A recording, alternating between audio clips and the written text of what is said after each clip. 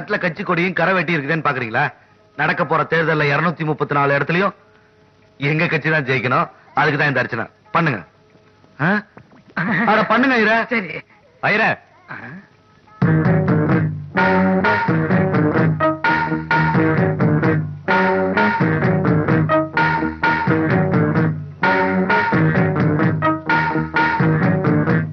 வர்ற எலெக்ஷன்ல மட்டும் இல்ல. இனிமே இந்தியாவில் நடக்கிற எல்லா எலெக்ஷன்லயும் எங்க கட்சி தான் ஜெயிக்கணும். அதுக்கு அர்ச்சனை பண்ணுங்க.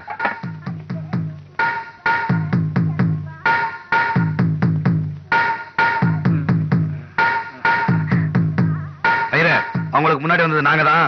அதனால முதல் அர்ச்சனை எங்களுக்கு தான்.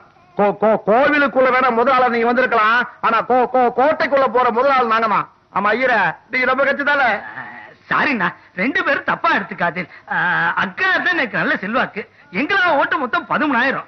அதனால வர்ற எலெக்ஷன் நானே சுயேட்சா நிக்கலாம் முடிவு பண்ணிட்டேன் உங்க ரெண்டு பேர் ஆதரவு நேக்கு வேணும்.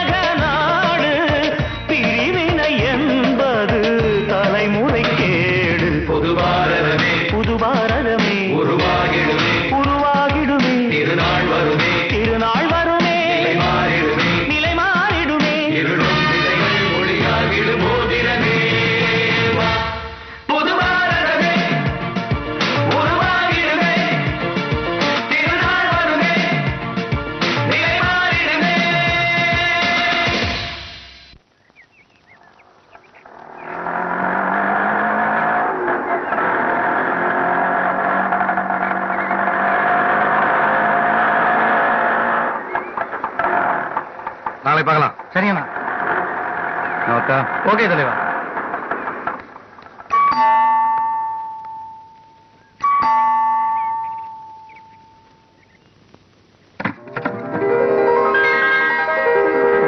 வாங்கடா. வாங்க. அண்ணனுக்கும் தம்பிக்கும் வீடுன்னு ஒண்ணு இருக்குது இப்பதான் தெரிஞ்சதா? ஏன்டா வேலை இல்லாம கட்சி கட்சின்னு ஊரெல்லாம் சுத்திட்டு இருக்கீங்க? நல்லா சொல்லுமா. தோக்க போற கட்சிக்காக ராபாலாம் உழைச்சிட்டு இருக்கான். ஏய் தோக்கத்து யாரு ஜெயிக்கிறது யாரு நாளைக்கு காலைல தெரிஞ்சிடும் தபார் நாளைக்கு என் கட்சி தோத்துச்சுன்னு வச்சுக்கோ. நான் பாதி மீசி எடுத்துறேன்டா டேய் உன் கட்சி தோக்கதான் போது நீ மீசி எடுக்க தான் போற.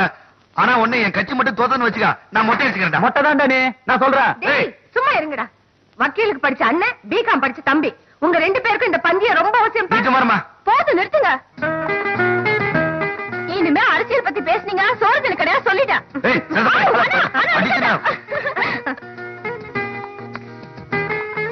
அண்ணா, நீங்க யாருக்கு ஓட்டு போட்டீங்க? ம். உன் கட்சிக்கு ஓட்டு போட்டா உங்க அண்ணன் வருத்தப்படுவாரு. உங்க அண்ணன் கட்சிக்கு ஓட்டு போட்டா நீ வருத்தப்படுவ. அதனால இந்த எலெக்ஷன்ல நான் ஓட்டே போடல. சுத்தம். அம்மா நீயாவது எங்க கட்சிக்கு ஓட்டு போட்டே இல்லையாமா எனக்கு நீ வேற இவன் வேறயா. அதனால நான் ரெண்டு கட்சிக்குமே ஓட்டு போட்டாச்சு.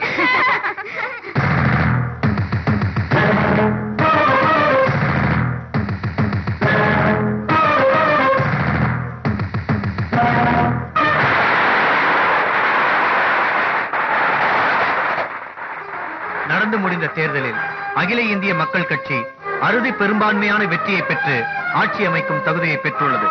ஏஐபிபி தலைவர் காக்கா. நமது முதலமைச்சர். நமது சின்னம். நமது சின்னம். நமது முதலமைச்சர். தலைவர் காக்கா. ஏஐபிபி நமது முதலமைச்சர். தலைவர் காக்கா. இந்த லாரியில டிராவல் பண்றது போதும் போதும் ஆயிடுச்சு. டங்கு வர கிழிஞ்சிரும் போல. அம்மா கீழே இறங்கடா சக்தி நாளைக்கு நன்றி கூட்டத்துல. முதலமைச்சர் பதவி பிரமாணம் சரியான கூட்டம் இல்ல? ஆமாமா முன்னூறு மைல் லாரியில வந்திருக்கிறோம் அல்ப தெரியலையே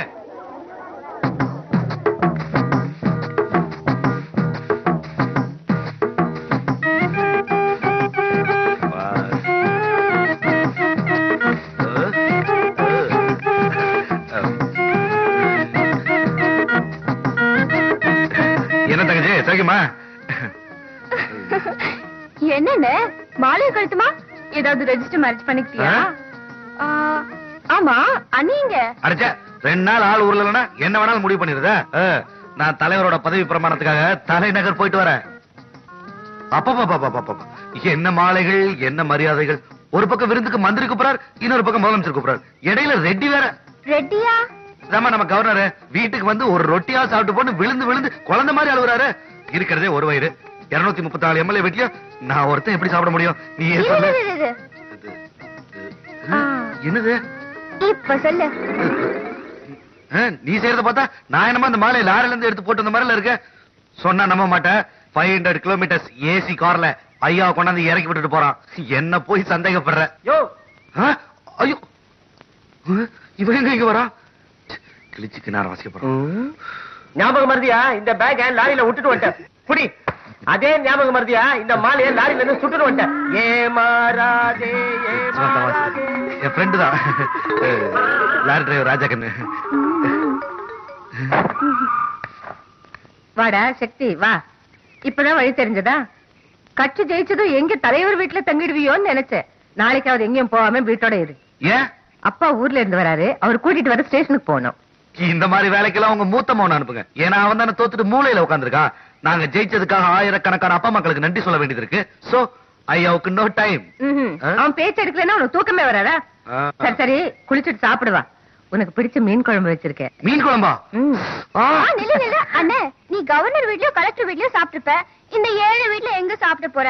ஆனா நெத்திலி மீன் சும்மா சொல்லக்கூடாது. சூப்பர்? அது வந்து ஆயிரம் தான் இருந்தாலும் அடுத்தவங்க வீட்டுல ஆப்பிள் சாப்பிட்டாலும் சொந்த வீட்டுல நெல்லிக்காய் சாப்பிடுற மாதிரி வராது. இல்லம்மா நீ போடுமா? குளிச்சுட்டு சாப்பிடலாம்டா. ஏன் சாப்பிட்டு குளிக்க கூடாதா? பாடுவா வா.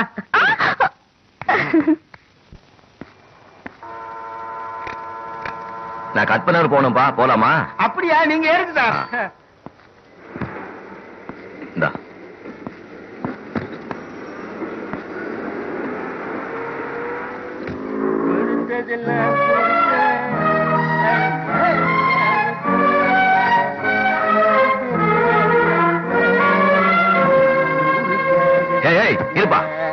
சட்டை கட்டி தரேன் அதுல காரத்தோட அது ஏன் சார் இதான் இந்த வேஸ்ட் துணி இருக்க அது வேஸ்டா நம்ம மானத்தை காப்பாத்தி எத்தனையோ துணி இருக்கு. ஆனா நாட்டோட மானத்தை காப்பாத்தி இருக்கிற ஒரே ஒரு துணி அதுதான். தயவு செஞ்சு அதை கலங்கப்படுத்தாதீங்க ஆமா. நீங்க யாரு சார் வாங்கின சுதந்திரத்தை காப்பாத்த பாடுபட்டு இருக்கிற ஒரு ரிட்டையர்டு மிலிட்டரி மேன் என்ன மன்னிச்சிருங்க சார் கலர் கலரா ஏகப்பட்ட கட்சி கொடிங்க வந்ததுனால நம்ம தேசிய கொடியோட கலரே மறந்து போச்சுங்க சார் பேரன்புமிக்க பெரியோர்களே பெற்றெடுத்த தாய்மார்களே நடந்து முடிந்த தேர்தலிலே எங்களுக்கு கிடைத்த வெற்றி சத்தியத்துக்கு கிடைத்த வெற்றி தர்மத்துக்கு கிடைத்த வெற்றி நியாயத்திற்கு கிடைத்த வெற்றி என்றெல்லாம் நாங்கள் கூற மாட்டோம். செலவு செய்த சில்லறைக்கு கிடைத்த வெற்றி தட்டண்டா? எல்லோரும் நாங்கள் இதை செய்வோம் அதை செய்வோம் என்று சொல்லுவார்கள். ஆனால் செய்ய மாட்டார்கள். நாங்கள் அப்படி இல்லை. முன்னால் சொல்ல மாட்டோம் ஆனால் பின்னால் செய்வோம். எங்களுடைய முதல் கட்ட நடவடிக்கையாக ஓட்டு போட்ட வாக்காளர் பெருமக்களுக்கு வீட்டுக்கு வீடு அல்வா கொடுக்க ஏற்பாடு செய்திருக்கிறோம். எம்எல்ஏ ஆனதற்கே அல்வா கொடுக்க முன் வந்துள்ள நமது மதிப்பிற்குரிய அண்ணன் புலிக்குச்சி புண்ணியகோடி நாளை மந்திரி ஆகிவிட்டால் உங்கள் கைகளிலே பெருசாக கொடுப்பார் திருப்பதி லட்டை.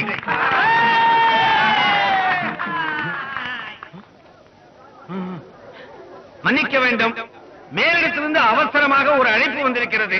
ஆகவே நான் போய் திரும்பி வரும் வரை கட்சி சிங்கங்கள் கர்ஜிக்காமல் அமைதியாக இருக்க வேண்டும் என்று உங்களை நான் மன்றாடி கேட்டுக் கொள்ளுகிறேன்.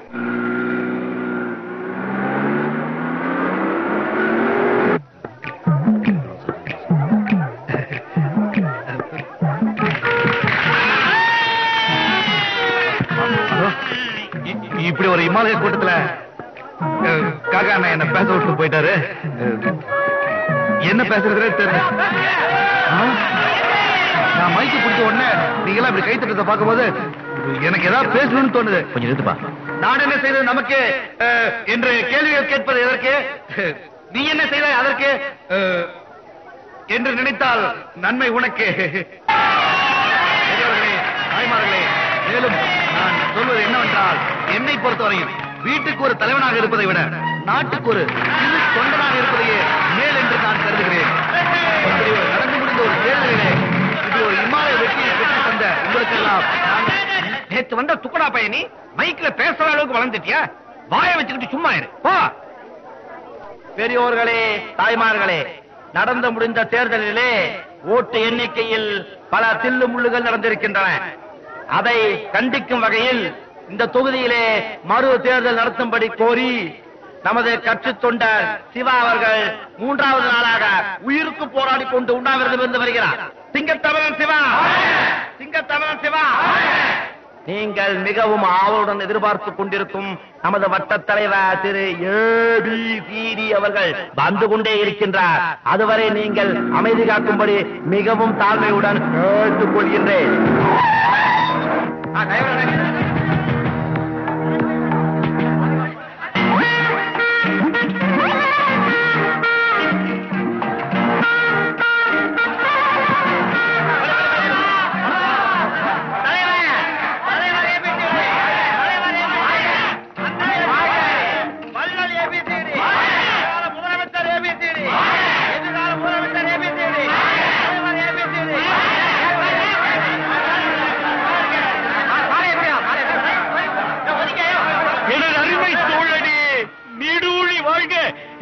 கண்மணியே நீ நீடூழி வாழ்க. அது என்னப்பா? கட்சி தலைவர் புதுமையா ஏபிசிடின்னு பேர் வச்சிருக்காரு. அதுல என்ன விசேஷம்? நம்ம தலைவர் முதல்ல ஏடிஎம்கேல சேர்ந்தாரு. அப்புறம் பிஜேபிக்கு போனாரு. அப்புறம் காங்கிரஸ்ல இருந்து டிஎம்கேக்கு வந்தாரு. இப்ப நம்ம கட்சியில இருக்கிறாரு. ஓஹோ. அதனால பழச மறக்காம இருக்கணுங்கிறதுக்காக ஏபிசிடி ஏபிசிடின்னு கூப்பிடுறாங்க. பொதுவா இந்த ஆளுங்கட்சிக்கு தானே பூடப்பட செக்யூரிட்டி கொடுப்பாங்க. இவருக்கு எதுக்கு? அட என்னைய சுத்த விவரம் ஆளா இருக்கிய. நம்ம கட்சியில இருந்து வேற கட்சிக்கு திடீர்னு தாவிடக்கூடாது அப்படிங்கறதுக்காக? நம்ம கட்சிக்காரங்களை ஸ்பெஷலா இந்த கருப்பு புண்ணை ஏற்பாடு பண்ணிருக்காங்க அனைவருக்கும் என்னுடைய வணக்கத்தை தெரிவித்துக் கொள்ளுகிறேன் தோழர்களே. என்ன எல்லாரும் அடிக்கடி கட்சி மாறுறவன்னு நாய்ங்க சொல்றானுங்க. அந்த நாய்ங்களுக்கு நான் ஒன்னே ஒண்ணு சொல்லிக்கிறேன் பூனைங்களே மனுஷங்கிறவன் யாரு? குரங்குல இருந்து பிறந்தவன் தான் மனுஷன். அந்த குரங்கும் மனுஷனும் அப்படின்னா ஒண்ணு தானே அவனுங்களை நான் ஒண்ணு ஒண்ணு கேட்கிறேன். குரங்கு மரத்துக்கு மரம் தவம் போது மனுஷன் கட்சி கட்சி தாவட என்ன தப்புங்க? அமைதி அமைதி அமைதி. நடந்து முடிஞ்ச தேர்தல்ல நம்ம தொகுதியில படமா விளையாடிச்சு. ஓட்டுப்பட்டி கை மாறிச்சு. சண்டாளனுங்க சட்டசபைக்கு போயிட்டாருங்க. அதை எதிர்த்து இன்றைக்கு மூன்றாவது நாளாக என்னுடைய அருமை நண்பன் சிவா அவர்கள் பல்லாண்டு உயிர் வாழ வேண்டும் என்று வாழ்த்துகின்றேன் வாழ்த்துகின்றேன் வாழ்த்துகின்றேன். இருபத்தாறாவது வட்டத்தின் சார்பாக அண்ணனுக்கு இந்த எலுமிச்ச மலை அணிவிக்கிறேன். ஏழாவது வட்டத்தின் சார்பாக அண்ணனுக்கு மலர் மலை அணிவிக்கிறேன். பட்டாசு தொழிலாளர் மகளிர் அணி சார்பாக இந்த பட்டாசு மலையை அணிவிக்கிறேன். சிவகாசி தீப்பெட்டி தொழிலாளர் சார்பாக தலைவருக்கு இந்த பட்டாசு மாலையை பற்ற வைக்கிறேன்.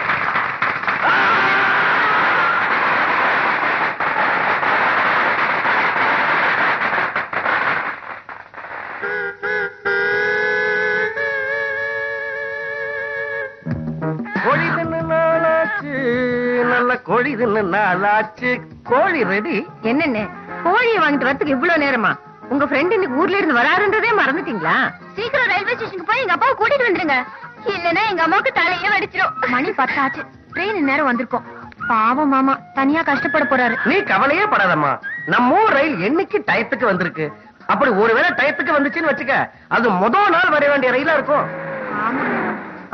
வேண்டாம் சார். இந்த வீட்டுக்கு தான் நீங்க வருவீங்கன்னு தெரிஞ்சிருந்தா முதல்ல நான் மீட்டரையே போட்டிருக்க மாட்டேனே. ஏன்னா இது ரூலிங் வீடாச்சே. ரூலிங் வீடா? ஆமா சார். நம்ம நாட்டுல எப்படி ரெண்டு கட்சி தான் மாறி மாறி ஆட்சிக்கு வரும். இந்த வீட்டுல ரெண்டு கட்சி கொடியும் பறக்குது. அதனாலதான் இதுக்கு ரூலிங் வீடுன்னு பேரு. அப்ப நான் வரட்டுங்களா. பாப்பா மிலிட்ரி சௌக்கியமா இருக்கியா? நாட்டுக்கு ஒத்தாசை பண்ணது போதுன்னு பொட்டி பொடுக்கியோட உன்னை வீட்டுக்கு அனுப்பிட்டாங்களா? Very good very good very good ஆர்மியில துப்பாக்கிய தூக்கி தூக்கி தூக்கி அழுத்து போயிருக்குமே உனக்கு. கவலையே படாத. இனிமே அடுப்பாங்கிற பொண்டாட்டிக்கு ஒத்தாசைய கரண்டிய தூக்கிடலாம். ஆ? வண்டியை தூக்குதுனடா பொண்டாட்டி கொத்தாசே காய்கறி ஏன் கொடுக்கலாம். அப்படி போடு. அப்பா நான் கேட்டேனே காஷ்மீர் சால்வை. இந்த தடவையாவது மறக்காம வாங்கிட்டு வந்திருக்கீங்களா?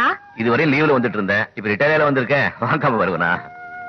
இத்தனை வருஷம் கழிச்சு ஊருக்கு வந்திருக்கீங்க. உங்களை கூப்பிட பசங்க வரலையே. அவங்களுக்கு ஆயிரம் வேலை இருக்குண்டி. வர்ற வழியில அவங்கள பார்த்தேன். ரெண்டு பேரும் போட்டி போட்டு ஊர் குறைக்கிறத பாக்குறப்போ எனக்கு எவ்வளவு சந்தோஷமா இருக்கு தெரியுமா? அப்பா எல்லாம் சாப்பிட்டுக்கிட்டே பேசலாம். வீடு வா வாங்குது. கோழி சாப்பிட்டு சாப்பிடுங்குது.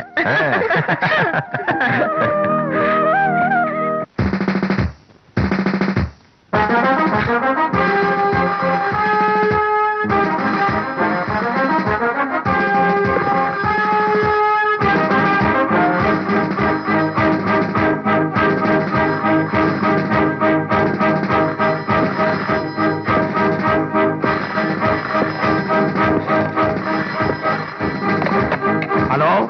இன்ஸ்பெக்டர் விக்ரமாச்சங்கிய ஏண்டா?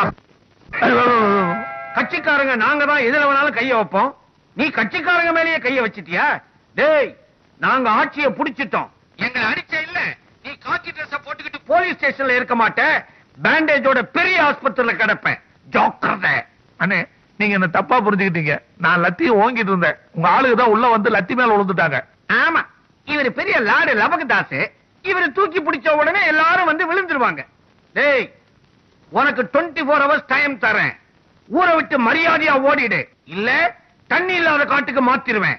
நாரிடு வேண்டி. அண்ணே அண்ணே என்ன எங்க வேணாலும் மாத்துங்க. மெட்ராஸுக்கு மட்டும் மாத்தாதீங்க. அங்க ஆம்பளை கூட முழுகாம இருக்கிறாங்களா? என்ன என்ன என்ன? Okay okay. No problem no problem. முழுகாம இருக்கிறத பத்தி பேசிட்டு இருக்கீங்க? போன்ல யாரு? சக்கலத்தியா சே சே சே. ஐஜி கிட்ட பேசிட்டு இருந்தேன். கேட்டாரு டிஎஸ்பி ஆகுறீங்களா கமிஷனர் ஆகுறீங்களான்னு. ப்ரமோஷன் விஷயமாச்சே. ஒய்ஃபை கன்சல்ட் பண்ணிட்டு சொல்ல சொல்றேன்னு சொன்னேன். ரெண்டு பேர்ல ஒண்ணு தொடு. ஆமா. ஏற்கனவே நம்ம நாட்டுல காவல்துறை ரொம்ப பிரமாதமா வேலை செய்யறாங்க இதுல நீங்க வேற கமிஷனர் ஆனீங்கன்னா அவ்வளவுதான். கமிஷனர் மூஞ்சிய பாரு. போன் எங்கேன்னு வந்தது எனக்கு தெரியும். கை காலை முடிக்கிறாங்களா இல்ல கதையே முடிக்கிறாங்களா? விட்டா நீயே போய் அவங்களுக்கு கட்டி எடுத்து கொடுத்துட்டு வந்துருவியாட்டு இருக்கு கணவனை கண்கண்ட தெய்வம். படம் பார்த்தது இல்ல? அதெல்லாம் ஆம்பளைங்களுக்கு. உங்களுக்கு ஆட்டோ வருது. பத்து சாவும் பழிச்சிருச்சா? மார்கை மார்கால் வாங்க போறானுங்க. இப்ப என்ன பண்ணுவேன்? ஆ, ஐயா, ஐயோ அது ரொம்ப எலி இருக்கு எலியா தாத்தா இன்னும் உன்ன நம்பிதான் போறேன். கதவை சாத்து.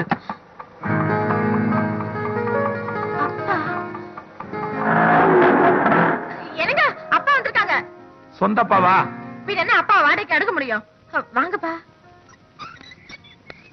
காஷ்மீர்ல இருந்து எப்ப வந்தீங்க? சர்வீஸ் முடிஞ்சு ஒரு ஏடியா வந்துட்டம்மா. குழந்தைகள் எங்க போயிருக்காங்க? ஸ்கூல் போயிருக்காங்க. ஆஹா. வாங்க மாமா. என்ன மாப்ள டியூட்டி கிளம்பிட்டீங்களா? தொழில எப்படி இருக்கு? ஓஹோன்னு இருக்கு. ஆ. தமிழ்நாட்டுல சர்வீஸ் பண்ணி சலிச்சு போச்சு. காஷ்மீருக்கு டிரான்ஸ்ஃபர் வாங்கலாம்னு இருக்கேன். என் பிரச்சனையும் தீரும். காஷ்மீர் பிரச்சனையும் தீரும். தப்பா நினைக்காதீங்கப்பா. நம்ம சக்தியா அவனோட ஆளுங்க தான் இவருக்கு வில்லனு இவரை டிரான்ஸ்ஃபர் பண்ணியே தருவேன்னு போன்ல மிரட்டுறாங்க. அந்த பயத்துல தான் இப்படி பைத்தியம் மாதிரி புலம்பிட்டு இருக்காரு மாப்ள அரசியல்லாம் அப்படித்தான் இருக்கும். நீங்க தான் கொஞ்சம் அட்ஜஸ்ட் பண்ணி போகணும். இந்த மிரட்டலுக்கெல்லாம் நான் பயப்பட மாட்டேன். எல்லாத்துக்கும் காக்கி சட்டை போட்டாதான் வீரம் வரும். ஆ. நான் போட்டா அந்த காக்கி சட்டைக்கே வீரம் வரும். இருந்தாலும் மச்சனுங்கிட்ட ஒரு வார்த்தை சொல்லி வச்சிருங்க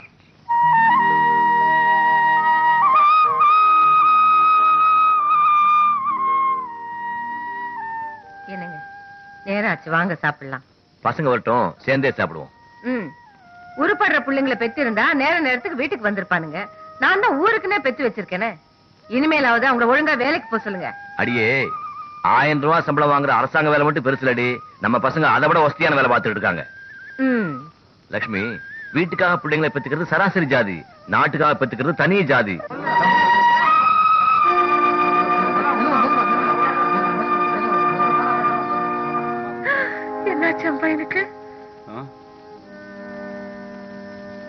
யாரு?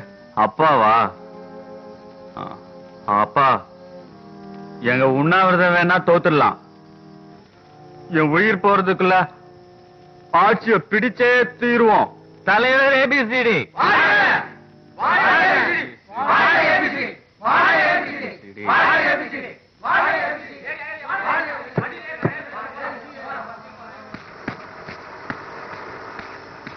அப்பா சாரிப்பா என்னால ஸ்டேஷனுக்கு வர முடியல. ஒரு முக்கியமான மீட்டிங் ஒண்ணு இருந்தது. அப்புறம் இப்ப ஒரு பணத்தை தூக்கிட்டு உள்ள போனாங்களே. பாடி உள்ள இருக்கா? வெளிய இருக்கா? சாப்பிடுறேன். ஆமா.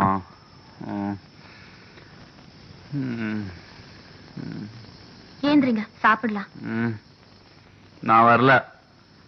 நான் வந்தா என்ன வம்புக்கு இழுப்பான் அதெல்லாம் ஒண்ணும் நடக்காது. உங்க உண்ணாவிரதத்தை ரோட்ல வச்சுக்கோங்க. வீட்ல அதெல்லாம் வேண்டாம். வாங்க சாப்பிடலாம். சரி நான் வரேன். ஆனா சாப்பிடுற வரைக்கும் மீசைய பத்தி பேசக்கூடாது அவன். ஆமா. பெரிய கட்டபொம்மை மீச இந்த அறிவு சவால் விடுறதுக்கு முன்னாடி இருந்திருக்கணும். வாங்க. ம். எதுக்கு மீசை அடிக்கிறேன்னு சொன்னீங்க? பேசாம மொட்டை அடிச்சுக்கிறேன்னு சொல்லிருக்கலாம்ல சதம் வாய முன்னி இங்க போடுமா. தனன, தனன. விஜய்? நம்ம ஃபேமிலியோட சினிமாக்கு போய் ரொம்ப நாள் ஆச்சுல? ஆமா. சினிமா போலாமா? என்ன படம்னா? மீசைக்காரன். அதான் நான் போய் சொன்னேன்ல அவன் சும்மா இருக்காதுன்னு. சாப்பாடு வேணா ஒரு மண்ணு வேணா எனக்கு. ரொம்ப சந்தோஷம். இப்ப என்ன சொல்லிட்டாவ பேச உட்காந்து சாப்பிடு.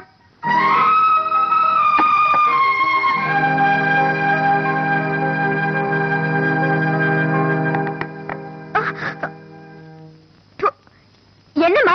அரிசியில ஒரே கல்லா இருக்கு. இனிமே இந்த கடையில வாங்காத. கடைக்காரன் என்ன பண்ணுவான் பாவம்? என்னைக்கு இந்த பாழா போனவங்க ஆட்சிக்கு வந்தாங்களோ அன்னைக்கே மக்கள் மண்ணு சோறு சாப்பிட ஆரம்பிச்சிட்டாங்க.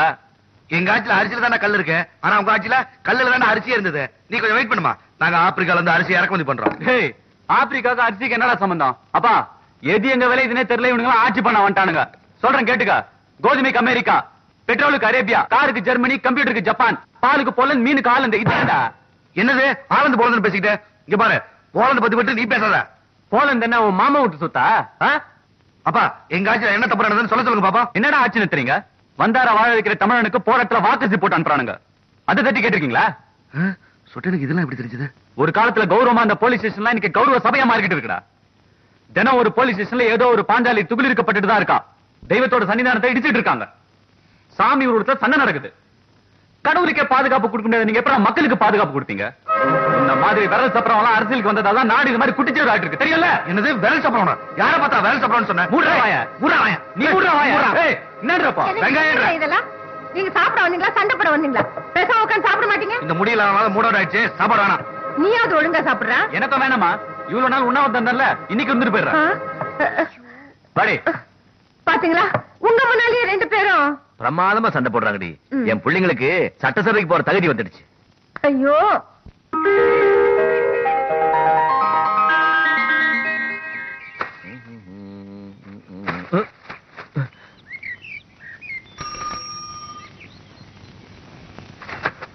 இந்தாங்க போன மாசம் பில்லு ஐநூத்தி ஐம்பது ரூபா.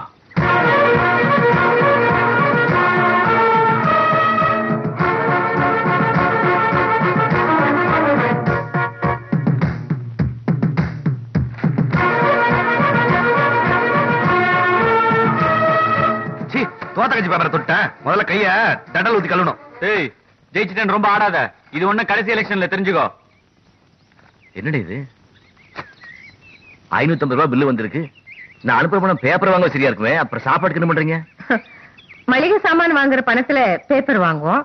பழைய பேப்பர் வித்துட்டு மளிகை சாமான் வாங்குவோம். முதலமைச்சரின் முக்கிய அறிவிப்பு இன்று பட்ஜெட் தாக்கல். மக்களின் அத்தியாவசிய பொருளான பம்பரம் கோலிகுண்டு கில்லி போன்றவற்றுக்கு வரி நீக்கம் செய்யப்பட்டுள்ளது. பலூன் பட்டம் குண்டூசி போன்ற பொருட்களும் பரிசீலனை உள்ளது. அடடே. இப்படியே போனா ஆட்சியில மக்கள் குண்டூசி தான் சாப்பிடணும். அப்பா அரிசி வலியும் பருப்பு வலியும் ஏத்திட்டானுங்க. அண்டர்வேர் வலியும் அருணாகர் வலியும் குறைச்சிட்டானுங்க. இவன் ஒருத்தன்.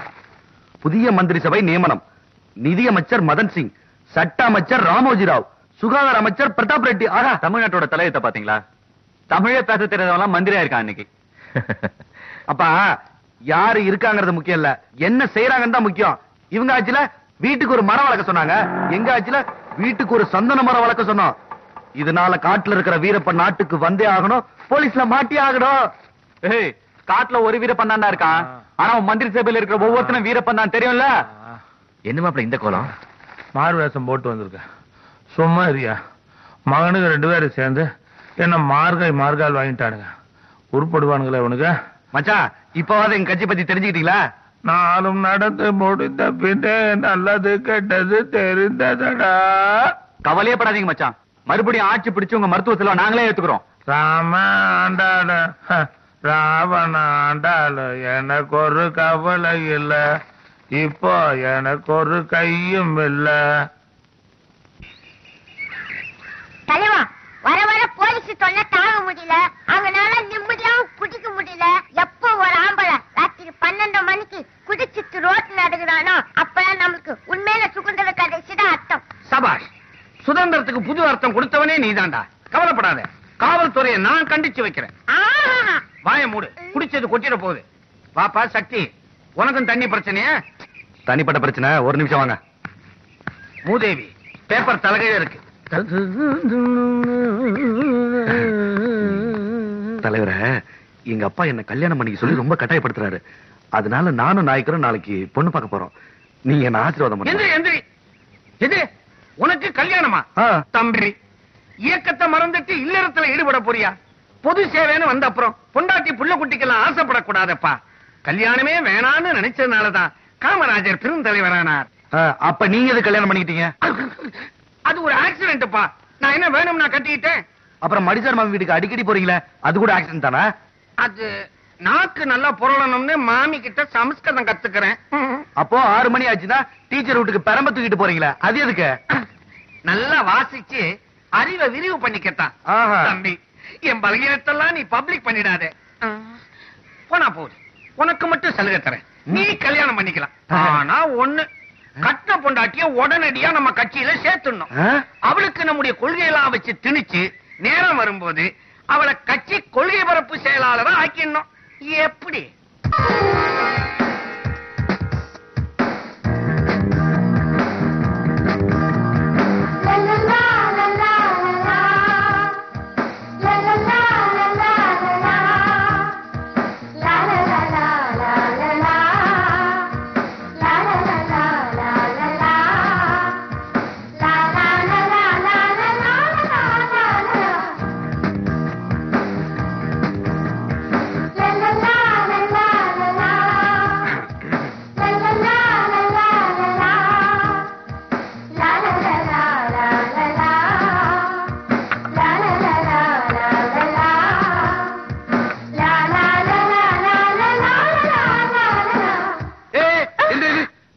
சீஃப் மினிஸ்டர் நீ என்ன மந்திரியா?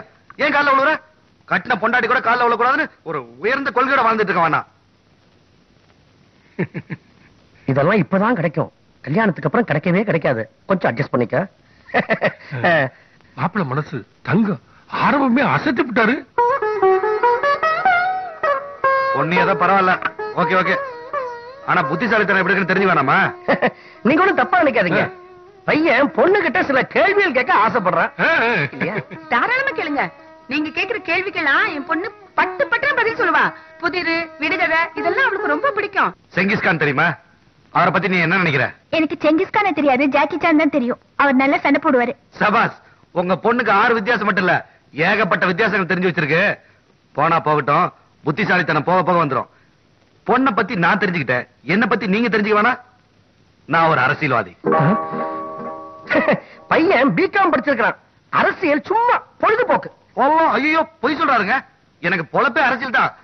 அப்புறம் ஒரு விஷயம் அரசியல்ல எதுவும் எந்த நிமிஷமும் நடக்கலாம். தாலி கட்டின உடனே போலீஸ் அரெஸ்ட் பண்ணலாம். சாந்தி முகூர்த்தம் சென்ட்ரல் ஜெயில கூட நடக்கலாம். எங்களுக்கு பிடிக்காத எதிர்க்கட்சி தலைவனை கொள்றதுக்காக உங்க பொண்ணோட இடுப்புல பாம கட்டி கையில மாலை கொடுத்து அனுப்புனாலும் ஆச்சரியப்படுறதுக்கு இல்ல எங்க கட்சி நடத்துற போராட்டத்துல திடீர்னு நான் தீக்குளிக்க வேண்டியது இருக்கும். அப்படி ஒருவேளை நான் தீக்குளிச்சு இறந்துட்டா உங்க பொண்ணு இன்னொரு கல்யாணம் பண்ணிக்கணும். அப்புறம் என் மனசு ஆத்மா சாந்தி அடையும்.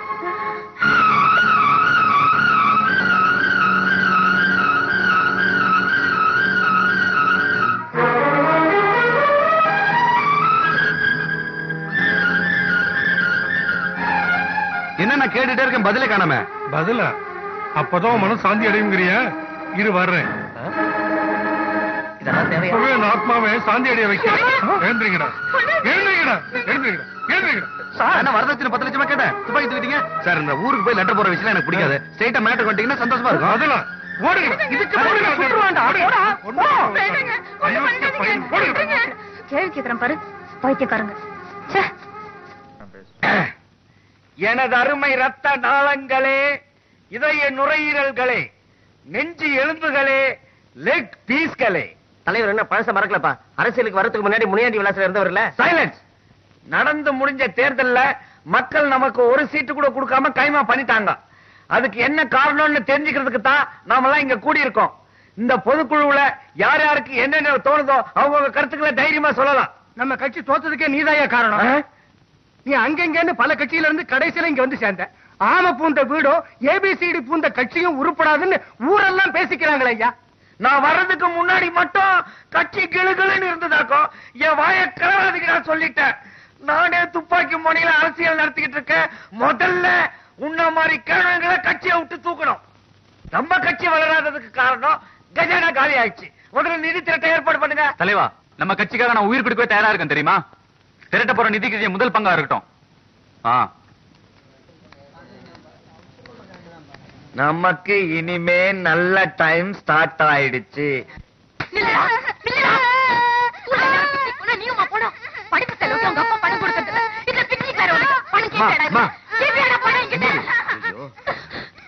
பச்சை குழந்தை. அதுக்கு என்ன தெரியும்? அதை போட்டு அடிக்கிற நீ போ ராஜா. போ. ஏமா பணம் வேணும்னா நீ எங்கிட்ட கேட்டுக்க வேண்டியதானே? நீங்க செஞ்சுட்டு இருக்கிற உதவி போதாதா? இதுக்கு மேலயுமா உங்களை தொந்தரவு படுத்தணும் அவர் ஒரு வக்கீல். அவரை தேடி நாலு கட்சிக்காரங்க வந்திருந்தா நான் சந்தோஷப்பட்டிருப்பேன். ஆனா அவரே ஒரு கட்சிக்காரனா மாறிட்டாரு. சிவா ரொம்ப நல்லவம்மா. அவன் வேஷ்டியில கரை இருக்குமே தவிர மனசுல கரை இருக்காது. என்னைக்காவது ஒரு நாள் அவன் பெரிய ஆள் ஆகத்தான் போறான். அவன் பொண்டாட்டின்னு சொல்லிக்கிறதுக்கு நீ பெருமைப்படத்தான் போற ஓம் தாரஸ்வரூபாய நம ஓம் ஞானேஸ்வராய நம கற்பூர நீராஞ்சதூபம் சமர்ப்பயாமி. அப்பா முருகா எங்களை நல்லபடியா ஜெயிக்க வச்சுட்ட. நான் வேண்ட மாதிரி உனக்கு நூத்தி ஒரு தேங்காய் உடைச்சிடுறேன். நான் கூட ஆயிரத்தி எட்டு தேங்காய் உடைக்கிறதா வேண்டிட்டேன். ஆனா சாமி என்ன கைய விட்டுட்டார் நெக்கு டெபாசிட்டே எடுத்து. மறைக்காத தல்ல அப்பா சுப்பிரமணிய சுவாமி கஷ்டப்பட்டு ஆட்சி பிடிச்சிருக்கோம். கழிச்சிடாத கவலையே படாதீங்க. சுப்பிரமணிய சுவாமி சொல்லிட்டே இருப்பார் ஆனா செய்யவே மாட்டார்.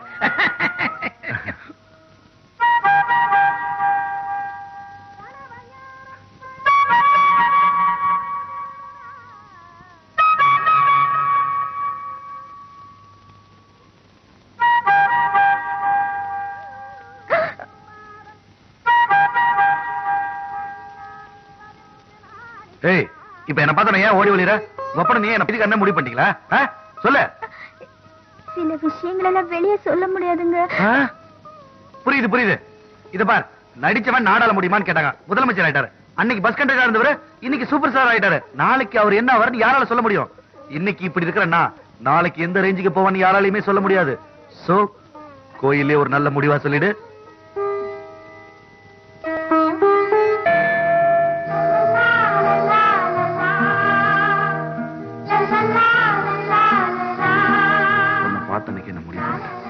நீதான் எனக்கு பொண்டாட்டின்னு.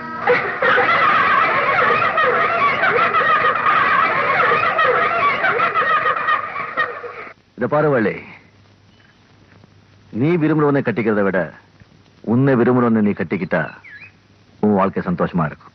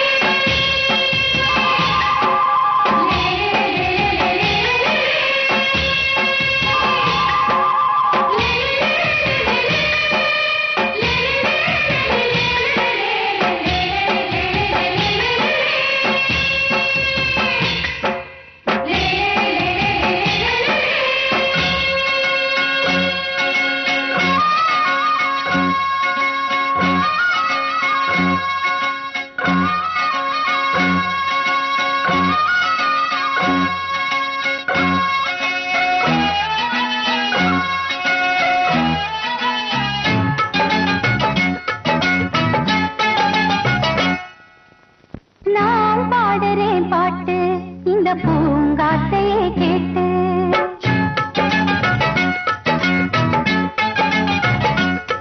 தினம் நான் பாடுறேன் பாட்டு.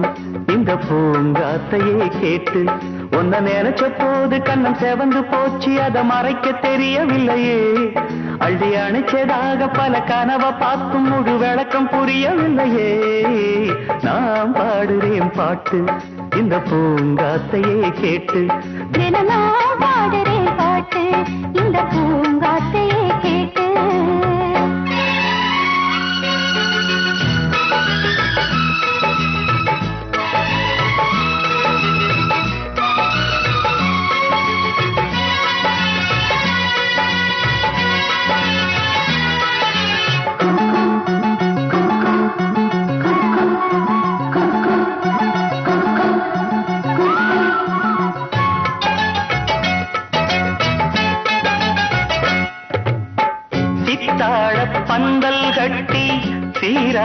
வெயில்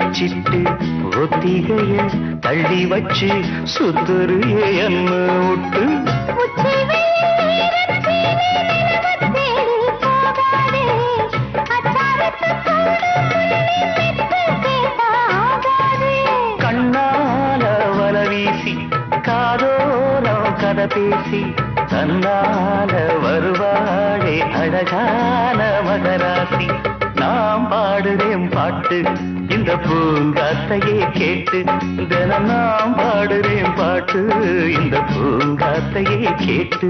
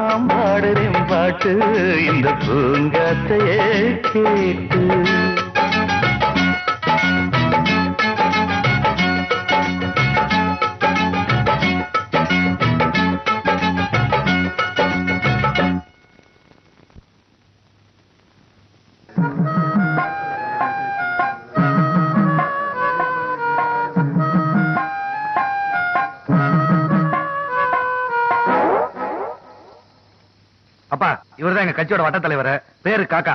காக்காவை புடிச்சு வெள்ளை பெயிண்ட் அடிச்சு புறான்னு வித்துக்கிட்டு இருந்தாரு. அதனால செல்லம காக்கான்னு பேர் வச்சுட்டாரு மூதேவி இப்ப அவர் உன்னை கேட்டாரடா? ஏன்டா பழசெல்லாம் போட்டு கலர்றீங்க? நாரிட போகுது. ஐயா வர பதினெட்டாம் தேதி குர்பானி சிங் நம்ம ஊருக்கு பாத யாத்திரையா வராரு. யார் அது குர்பானி சிங்? எது? குர்பானி சிங் யாரா? உங்க வீட்டுல தூண் இருக்குதா? எதுக்கு? தூணிலையும் இருப்பார் துரும்பிலும் இருப்பார். அவர் ஒரு நடமாடும் கடவுள். காத்து புகாத இடத்துல கூட அவரு பூந்துருவாரு. குர்பானி சிங் யாருன்னு கேட்டதுக்கு இதுவே வேற ஒரு ஆளா இருந்திருந்தா இந்நேரம் ஒரு தெரியாம ஆக்கி இருப்போம் பிஎஸ்ஆர் உடைய அப்பாவாச்சே போனா போகுதுன்னு மன்னிக்கிறேன். தள்ளுங்கிற அடிப்பார் போல இருக்குது. தப்பா நினைச்சுக்காதீங்க. அப்பா இத்தனை நாளா காஷ்மீர்ல இருந்தாரு. அதனால அவருக்கு தெரியல. ஏன் காஷ்மீர்ல கூட தான் வழிக்கு வழிக்கு அவர் பாத யாத்திரை பண்ணிருக்காரு அவர் பாத யாத்திரை பண்ணாத ஒரே இடம் சந்திர மண்டலம் தான். அதுக்கு கூட அடுத்த வருஷம் போகலாம்னு ஒரு பிளான் பண்ணிக்கிட்டு இருக்காரு இந்த மூதேவிகளோட. ஐயா அவரு நம்ம ஊருக்கு வரும்போது அவருக்கு விருந்து கொடுக்கணும்னு நான் நீன்னு பல தலைகள் போட்டி போட்டுக்கிட்டு இருக்கு கடைசியா சீட்டு குலுக்கி பார்த்தோம். நல்லா குலுக்கினதுல உங்க பேர் தான் வந்துச்சு. ஏன்னா உங்களுக்கு தலையெழுத்து நல்லா இருக்குது. அதனால அவர் இந்த இடத்துக்கு வர அன்னைக்கு ஆயிரம் பேருக்கு விருந்து கொடுக்க வேண்டியது உங்க பொறுப்பு. அப்பதான் நீங்க இந்த தொகுதியில குடும்பத்தோட நிம்மதியா இருக்க முடியும். பிஎஸ்ஆர் பத்தமா? ஆ. வாங்கடா அரசியல் இந்த காக்காவை ஃபாலோ பண்ணுங்கடா. அதான தலைவா நாங்க செஞ்சுக்கிட்டு இருக்கோம். சக்தி. சக்தின்னு உனக்கு அழகா பேர் வச்சுனே. அது என்னடா பிஎஸ்ஆர் அஹ், அது அது வந்துப்பா பி சக்தி ராஜா. அதான் பிஎஸ்ஆர் இந்த மாதிரி பேருக்கு தான் இப்ப அரசியல் மவுஸ் ஜாஸ்தி. ஒரு எம்ஜிஆர் ஒரு என்டிஆர் அடுத்து ஒரு பிஎஸ்ஆர்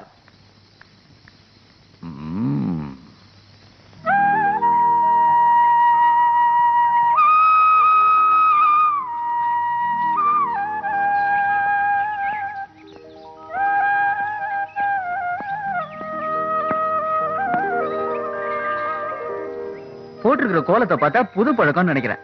புதுசா ஆரம்பிக்கும் போது ஆறு புள்ளியில பழகணும். அறுபது புள்ளியில பழகக்கூடாது. யார் நீங்க? நான் யாருங்கிறது இருக்கட்டும். நீ பழனிவேல் பொண்ணு தானே? பழனி வீட்டுல இருக்கார? நானும் உங்க அப்பனும் கிளாஸ்மேட்ஸ் கிளாஸ்மேட்டா அப்பா யார வந்திருக்காங்க?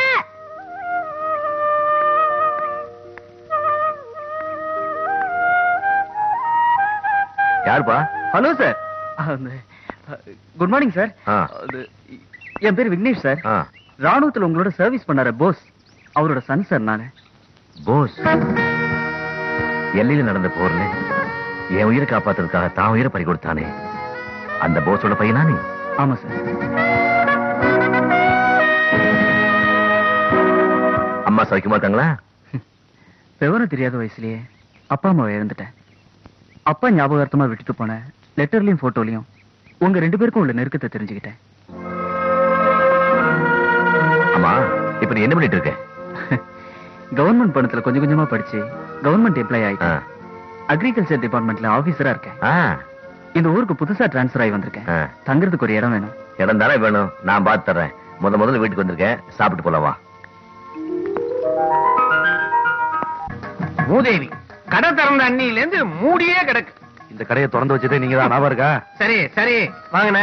வணக்கம். வாங்க தான் வந்திருக்கிறோம். குளுக்கேண்டா தம்பி நாங்க வியாபாரத்துக்கு வரல வசூலுக்கு வந்திருக்கிறோம். அண்ணே எங்க கட்சி தலைவர் குர்பான் சிங் பாத யாத்திரை நம்ம ஊருக்கு வந்துட்டு இருக்காரு. அதுக்காக நாங்க நன்கூட வசூல் பண்ணிட்டு இருக்கோம் உங்ககிட்ட இருந்து ஒரு பெரிய தொகை எதிர்பார்த்து வந்திருக்கோம். வியாபாரம் ரொம்ப டல்லா இருக்கு. இப்பதான் எலெக்ஷனுக்கு ஆயிரம் ரூபாய் கொடுத்தேன். அதுக்குள்ள கேட்டா எப்படின்னு? தம்பி எலெக்ஷன் அஞ்சு வருஷத்துக்கு ஒரு தடவை தான் வரும்னு நினைக்காதே. இப்பெல்லாம் அடிக்கடி வருது. கண்டிப்பா கட்சிக்காரங்க வசூல் வராங்க. நன்கொடைங்கிறது நாங்களா கொடுக்கறது. இப்ப நீங்க பண்ணிட்டு இருக்கிறது பகல் கொள்ளையா? சபாஷ் அற்புதமா பேசுற பேசாம கடையை விட்டுட்டு கட்சியில சேர்ந்துரு. உன்னை எங்க கட்சியோட பிரச்சார பீரங்கி ஆக்கிடுறோம். கிழிஞ்சிரும். ஏதோ கேட்டமா கொடுத்தமான்னு இல்லாம பலபலன்னு பேசிக்கிட்டு. எடுப்பா. குர்பானி சிங் அரப்போன வரைக்கும் வந்துட்டாரு. தீத்தாச்சா தலைவா. அடுத்த. தலைவா இந்த பக்கம் போவோம். ஐயோ அது பள்ளிக்கூடம். நாம அங்க மழைக்கு கூட ஒதுங்க கூடாது. இப்படியே. போங்க. போ. புள்ளா உன் உருவம் தான் சுருங்கிடுச்சுன்னு நினைச்சேன். அரசியல்ல சேர்ந்த அப்புறம் உன் மூளையும் சுருங்கிடுச்சு. யோ புள்ள நான் நடுவுல விடியா உண்டியலோட ஓடிட போறான்.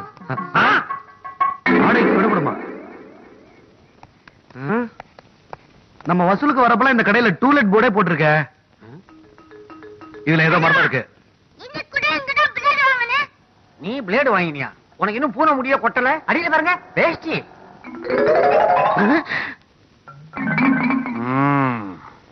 சரி விடுறா. இந்த கடைக்கார கண்ணியப்பன் நம்ம கட்சியோட அடிமட்ட தொண்டை. ரொம்ப கஷ்டப்படுறான். சரி கவர்மெண்ட் மூலமா ஒரு லோனை வாங்கி கொடுத்து கடையை காம்ப்ளெக்ஸா மாத்தி விட்டுலாம்னு நினைச்சுக்கிட்டு இருந்தேன். கொடுத்து வைக்கல. உள்ளா இந்த வேட்டியை உருவிடா. சரி தலைவா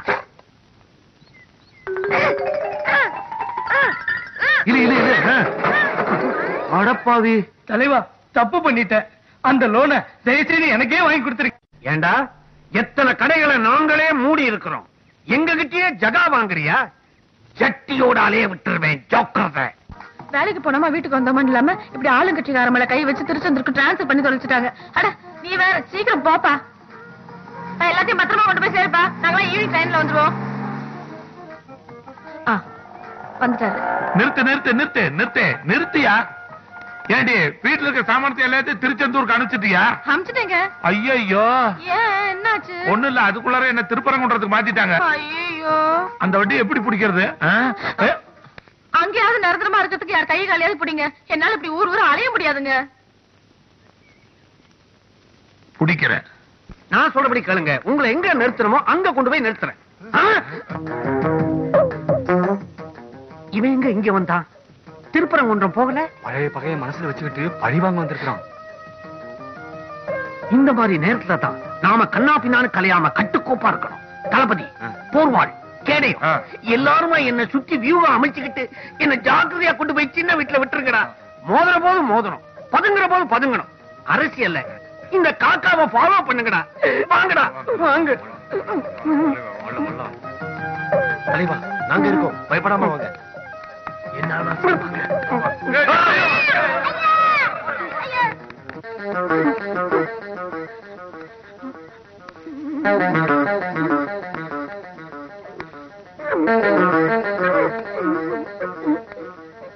ஐயா இது உங்க கையில. காரு. நான் ஏதாவது தப்பு பண்ணியிருந்தா என்ன மன்னிச்சிருக்க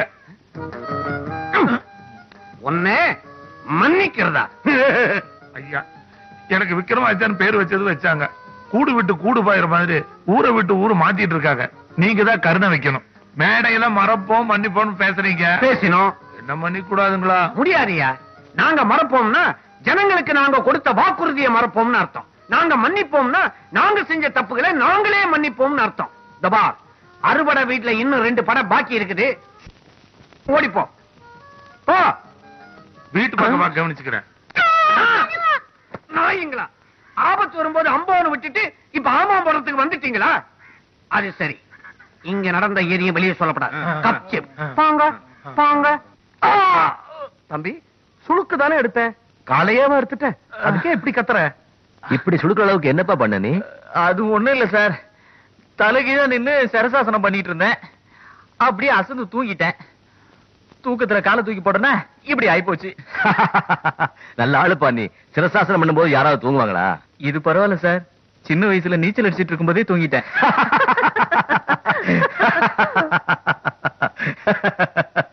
தம்பி தூங்காம இருக்கிற ஒரே இடம் படுக்கதான் போல இருக்கு. என்ன தம்பி ரொம்ப வலிக்குதா? இதெல்லாம் என்ன சார் வலி? சின்ன வயசுல இருந்தே வலி வேதனை எல்லாம் பழகி போச்சு என்ன தம்பி சொல்ற? ஒரு மனுஷன் உண்மை அழறது ரெண்டே இடத்துல தான் ஒண்ணு அவ பிறக்கும் போது இன்னொன்னு பெத்தவங்க இறக்கும் போது நான் இந்த ரெண்டையும் ஒரே நேரத்துல செஞ்சு முடிச்சிட்டேன்.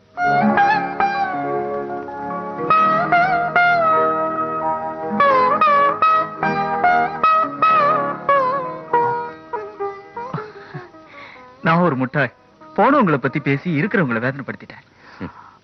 இப்ப கால் ஓகே. இப்படியே விட்டா பிடி உஷாக்கு சவால் விட்டுருவேன்.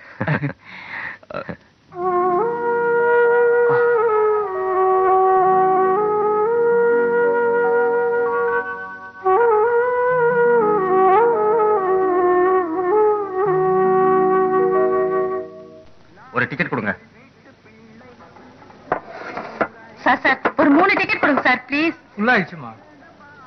ஹவுஸ்ஃபுல் ஆயிடுச்சு. இப்ப என்னடி பண்றது? ஹவுஸ்ஃபுல் போட்டாங்களா? படத்து பார்க்காம போனா தூக்கமே வர. சும்மா விருப்பேத்தாதடி எப்படியாவது டிக்கெட் வாங்கணும். நான் படத்தை பார்த்து தான் போவேன். என்னம்மா? டிக்கெட் இல்லையா? எங்க கிட்ட இருக்கு? தேங்க்யூ குடுறா. இந்தாடி. இந்தாங்க. ஆ, ஆனா ஒரு கண்டிஷன் படம் முடியுற வரைக்கும் பக்கத்துல புருஷன் முண்டாட்டி மாதிரி ஜாலியா உட்காரணும் அதுக்கு வேற ஆள பாரு. நான்சென்ஸ் மன்னிக்கணும். என் பேர் ஜான்சன். ஆமா. ஏய். தலைவா துகிலூர் இருக்கு இது என்ன சட்டசபையா? Cinema theatre. உங்களோட படம் பார்க்கறதுக்கு ஒரு ஆள் வேணும் அவ்வளவுதானே? நான் வரேன். அனாவசியமா எங்க கிட்ட மோதாத. வேணா ஒண்ணு பண்ணலாம். நாங்க மேட்னி ஓட்டிக்கிறோம். நீ வேணா நைட் ஷோ ஓட்டிக்கிய. ஓ நல்ல ஐடியா வச்ச. இல்ல? ஆனா ஷோ ஆரம்பிக்கிறதுக்கு முன்னாடி டைலர் பார்க்க வேணா? ஒரு நிமிஷம். நீங்க அப்படியே ஓரமா இருங்க.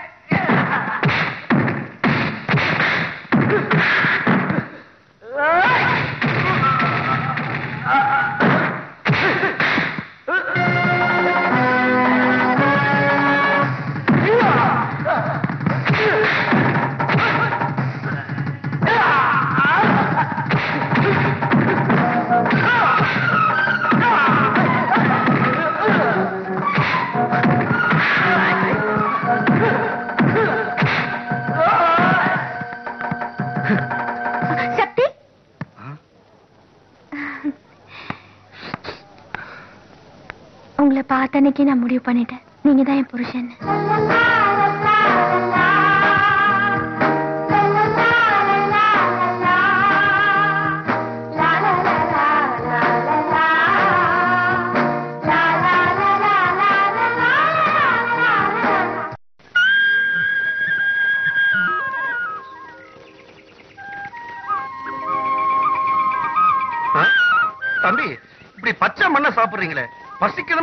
சாப்பிட்டு வந்திருக்கலாமே? நான் பசிக்காக சாப்பிடல.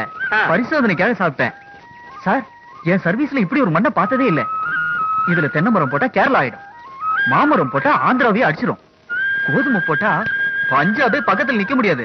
பழனிவேலு தம்பி இதுக்குமா லாட்டரி சீட் வித்துட்டு இருந்துச்சா? ஒரு ஸ்டேட் படாம ஒப்பிக்குதே ஏய் கிண்டல் பண்ணாதடா. தம்பி இனிமே இது உங்க சொந்த நிலம் மாதிரி. இதுல என்ன போட்டா நல்ல விளையுன்னு நீங்களே முடிவு பண்ணீங்க வாடா.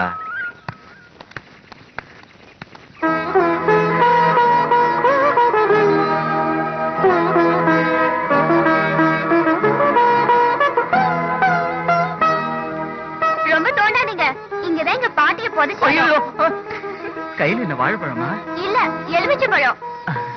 வேணும்னா வெக்கப்படாம கேட்க வேண்டியதானே இது எங்க தோட்டத்து பழம். இந்த ஏரியாலே ஃபேமஸ் சாப்பிட்டு பார்த்து சொல்லுங்க.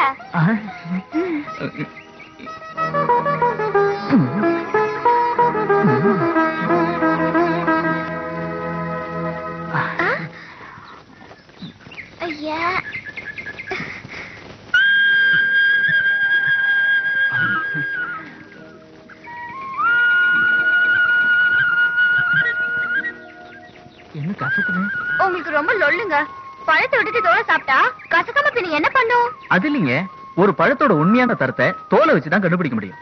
வாழை நல்லா வளரணும்னா கண்ட உரத்தையும் போடக்கூடாது. ஒரே உரம். யூரியா பதினேழு பதினேழு பதினேழு. ஐயோ காப்பாத்துங்க காப்பாத்துங்க. போச்சு. எல்லாமே போச்சு. என்னது? தமிழ்நாட்டுல தமிழ் பொண்ணுக்கு ஆபத்தா? தலைவா! ஓடி வாங்க! ஓடி வாங்க! என்ன என்னம்மா பிரச்சனை?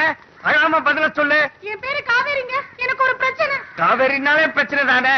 என் வீட்டுல முகமூடி கொள்ளக்காரங்க பூந்து சட்டி பானை எல்லாத்தையும் அள்ளிட்டு போயிட்டானுங்க. என் கற்பை தவிர எல்லாமே போச்சு. போலீஸுக்கு போக வேண்டியதானே? அங்க போனா அதுவும் போயிடுங்க. வாஸ்தவம் தலைவா, இதுல ஆளுங்கட்சி வேலைதான். இது வரைக்கும் நாட்டை கொள்ளச்சோனுங்க இப்ப வீடு வீட வந்து கொள்ளடிக்க ஆரம்பிச்சிருக்கானுங்க. காவேரி உன் பிரச்சனை நம்ம நாட்டுல இனி தீரவே தீராது. ஆனா இவ்வளவு தூரம் வந்து எங்க கட்சி படியை மிதிச்சிட்டம்மா. ஆகையினால நீயும் கட்சியில ஒருத்தி ஆயிட்ட. இனிமே உனக்கு ஒரு வாழ்க்கை கொடுக்க வேண்டியது எங்க கடமை? காவேரி பிரச்சனை தீர்த்து வைத்த கலை செல்வன் காவேரி பிரச்சனை தீர்த்து வைத்த கலை செல்வன் காவேரி பிரச்சனை தீர்த்து வைத்த கலை செல்வன் காவேரி பிரச்சனை தீர்த்து வைத்த கலை செல்வன் காவேரி பிரச்சனை தீர்த்து வைத்த கலை செல்வன் ரைட்டா ரைட்டு ரைட்டா ரைட்டு ரைட்டா ரைட்டு ரைட்டா? தப்பு.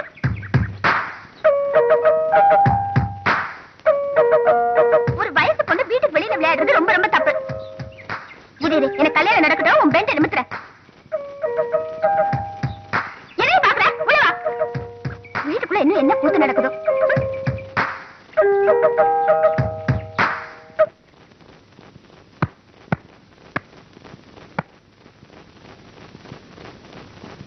மணி பத்தாகுது இப்பதான் மாவே பேசுறீங்க இனிமே பூரி சுட்டு மசாலா செஞ்சு சாப்பிடறதுக்குள்ள ராத்திரி பத்தாகும் போல இருக்கே.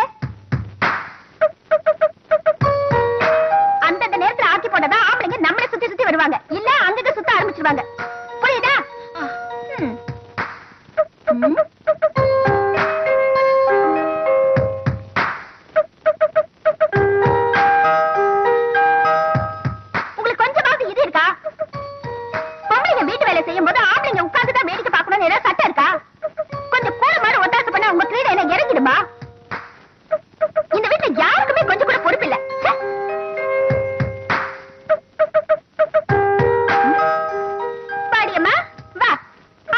முடிஞ்சுதா அம்மா நீ யாருமா என்னது?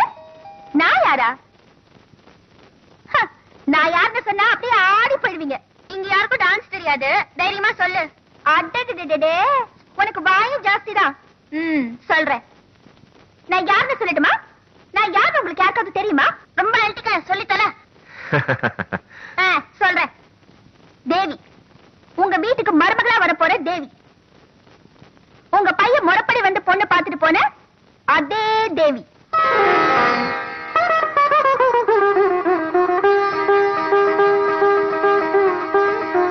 அரசியல் இருக்கேன்னு சொன்னாரு என் புருஷன். அவர் அசம்பிளி எப்படி இருக்குன்னு பார்க்க வந்தேன். சத்தமில்லாம இருக்கிறத பார்த்தா நீங்க சபாநாயகர். நீங்க ஹோம் மினிஸ்டர் ம், வீட்ல இருக்கிற ரகசியத்தை அடிக்கடி வெளியே சொல்றதுனால நீங்க செய்தி அமைச்சர். ஆவ், விளையாட்டுத்துறை. உனக்கு வாய் ரொம்ப நீளது வந்ததுக்கு அப்புறம் கவனிச்சுக்கிறேன்.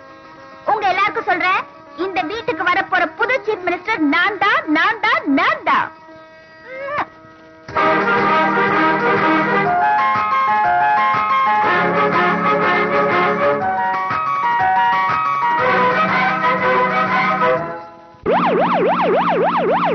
Yeah!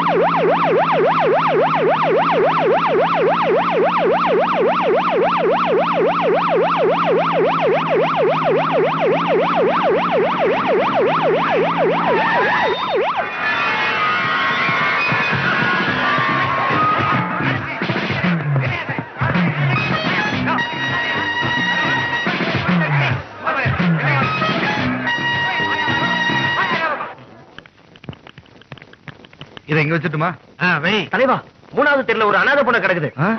அனாதை போனம்மா அருமையான ஐடியா இதுக்கப்புறம் எதிர்கட்சிக்காரங்களை கூண்டோட கைலாசத்துக்கு அமைச்சிடலாம். செத்தவன் அனாதை இல்லடா. நம்ம கட்சியோட அடிமட்ட தொண்டன் அவன் உடல் பொருள் ரெண்டையும் கட்சிக்கு கொடுத்துட்டு இப்ப ஆவியா மாறிட்டான். சக்தி உடனடியா நம்ம கட்சி சார்புல அந்த தியாகியோட பணத்தை நாம நல்ல விதமா அடக்கம் பண்ணணும். இத பார்த்து எதிர்கட்சிக்காரங்க துண்ட காணும் துணிய காணும்னு தவிச்சு ஓடணும் நிறுத்துங்க நிறுத்துங்க அதெல்லாம் நிறுத்துங்க நிறுத்துங்க ஏன்டா பரதேசி? ஏன் இப்படி ஓடி வர? இந்நேரம் வண்டியில மாட்டி செத்துருப்பேடா. தலைவா நடு ரோட்ல ஒரு அனாதை பணம் கிடக்குது. இதை வச்சு நம்ம கட்சி வளர்த்திடலாம். யாரா அவன்? செத்து போயிட்டானா? கேட்க முடியல. திருஷ்டி பூசணிக்கா என்ன சொன்ன? செத்து போயிட்டானா? அவன் அனாதை போனம் இல்லடா. ஐடிபி போனோம். என்ன சொல்றீங்க? ஆமாண்டா. அந்த அனாதை பணத்து மேல நம்ம கட்சி கொடிய போத்துறோம் துக்கத்தை அனுசரிக்கிறோம். ஆளுங்கட்சி இறக்கிறதுக்கு தான் சரியான வழி. ஐயா கும்பிடுங்க செத்து போன யாரும் தெரியுமா? தெரியாதுங்க.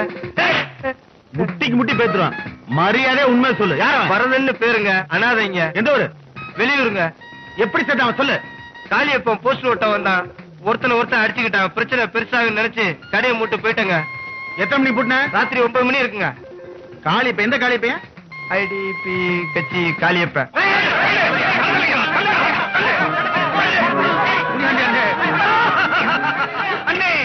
முனியாண்டி அண்ணே கொள்கை சிங்கமே குல தங்கமே எங்களை தனியா தவிக்க விட்டுட்டு போயிட்டே.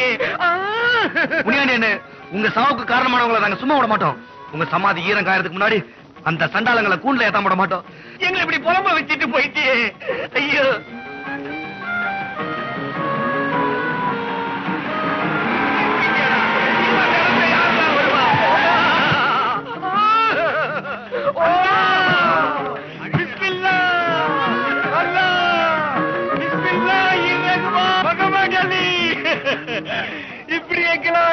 அனாதை ஆக்கிட்டு போயிட்டியப்பா. கட்சியோட கல் தூண் ஒன்று சாட்சி கிடக்குது. அட பாருங்களா எவன் செத்தான்னு தெரியாம ஏன்டா இழவுக்கு வரீங்க புனியாண்டி நீ செத்த உடனே உன்னை முகமது அலி ஆக்கிட்டாக்க தேர்தல்ல நம்ம கட்சி ஜெயிக்கணும்னு மாரியம்மன் கோயில்ல தீ மிதிச்சு காலை கொத கொதன்னு புண்ணாக்கிக்கிட்ட ஜெயிச்சப்புறம் உனக்கு பதவி கொடுக்கலான்னு இருந்தேன். அதுக்குள்ள சிவலோக பதவி அடைஞ்சிட்டியப்பா. ஐயோ ஐயோ ஐயோ ஐயோ ஐயோ. பகவத் அலியை இந்த முட்டக்க முடியாட்டின்னு சொல்லுதே. பகவத் அலி நீ அந்த தர்காவில பாடுவிய பாட்டு. நாய் நாய் இல்லல்லாய் முகமது ரசூலில்லாய் லாய் லாய் வேண்டாம் முனியாண்டி நாற்பது வருஷமா நீயும் நானும் ஒரே தட்டுல சாப்பிட்டோம். ஒரே படுக்கையில படுத்தோம். ஒரே வாத்தியார் அம்மாவை. டியூஷன் சொல்லி கொடுக்க வச்சுக்கிட்டோம். அலி நம்ம ரெண்டு பேரும் பிறந்தது ஒரே ஆஸ்பத்திரி தானே? நமக்கு பிரசவம் பார்த்தது ஒரே ஆயா தானே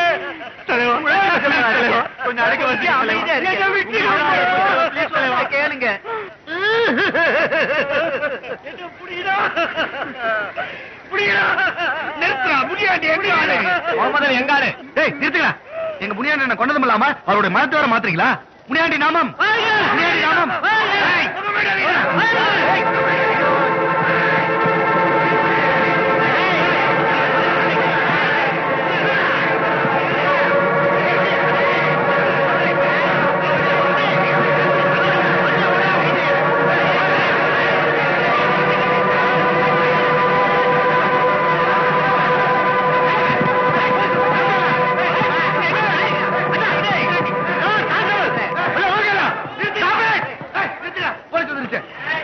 சார் பாடி எங்களுக்கு சார். எங்களுக்கு இந்த பாடி? யோ ஏன் தேவையில்லாம பேசிட்டு இருக்கீங்க? இந்த பாடி செத்தவனதியா சார் இந்த எங்க கட்சியோட தியாகி சுடல் சார். அதனால பாடி எங்களுக்கு தான் சார் வரணும். ஐயோ இந்த முகம் தண்ணி எங்கால் தான் சார்? பாருங்க சார் பார்க்கவே பண்றமா இருக்குது. சுத்த போய். சார் ஆயிரத்தி தொள்ளாயிரத்தி அறுபத்தி எட்டுல எங்க கட்சி பருப்பு சத்தியாகிரகத்துல ஈடுபட்டப்போ எங்களோட ஜெயிலுக்கு வந்தவன் சார். ஐயோ உப்பு புளி பருப்புன்னு உடாச்சு விடுறானுங்களே. முகமது அலி வாப்பா குஞ்சாலி எங்கால் தான் சார்? அல்லாம சத்தியமா இந்த பாடி எங்களுக்கு தான் சார்? சார் நாங்க ஆளுங்கட்சிக்காரங்க. மரியாதையா பாடி எங்கள்கிட்ட ஒப்படைக்கிறதுக்கு ஏற்பாடு பண்ணுங்க. இல்லன்னா நடக்கிறதே வேற. இந்த ஆளுங்கட்சி பந்தாலும் எங்கிட்ட வேணாம். உயிரோட இருக்கவன் தான் மதம் மதம் சொல்லி பிரிக்கிறீங்க. செத்தவனே மதம் பேர சொல்லி கழுத்த இருக்கிறீங்க யோ கான்ஸ்டபிள் பாடியை தூக்கியா? போஸ்ட்மார்ட்டத்துக்கு அப்புறம் இந்த பாடி யாருன்னு சொல்லி முடிவு பண்றோம் மரியாதையை கரைஞ்சுப்பாங்க போலீஸ் அராஜகம். போலீஸ் அராஜகம். போலீஸ் அராஜகம். போலீஸ் அராஜகம். அண்ணே நம்ம ராப்பகலா கஷ்டப்பட்டதெல்லாம் வீணாயிடுச்சுண்ணே. அனாதை பணத்தை காட்டி ஆட்சியை கவுக்கலான்னு பார்த்தா அதிகாரத்தை வச்சு கொலை பையன் நம்ம மேலே போட்டாங்க. நாங்க அன்னைக்கு போஸ்ட் விட்டது அந்த இடத்துக்கு போனதால அந்த கொலைப்படி எங்க மேல விழுந்துருச்சு. நாங்க மட்டும் போலீஸ் சிக்கி தூக்கு தண்டனை கிடைச்சதுன்னா எங்க புள்ள பிள்ளைகளை யாரு காப்பாத்துவாங்க? நான் எதுக்கு இருக்கேன்? துண்டப்பட்டு சும்மா இருப்படா அண்ணே காளியப்பனும் சந்திரனும் நம்ம கட்சிக்காக ரொம்ப கஷ்டப்பட்டவங்க. அவங்களுக்கு உதவி செய்ய வேண்டியது நம்ம கடமை. இன்னைக்கு சனிக்கிழமை. ரெண்டு நாள் எங்க மறைச்சு வச்சு நின்னு வச்சுக்கோங்க. திங்கக்கிழமை வக்கீல வச்சு கேஸ் கோர்ட்டுன்னு வெளியே எடுத்துட்டு வந்துடலாம். கரெக்ட் நம்ம கட்சியில இருக்கிற எல்லார் வீட்டுக்கும் போலீஸ் வரும். ஆனா உன் வீட்டுக்கு வராது. ஏன்னா அங்க ஆளுங்கட்சியும் இருக்கு எதிர்கட்சியும் இருக்கு. ஆகையினால இவங்களை காப்பாத்துறது உன் கையில தான் இருக்கு.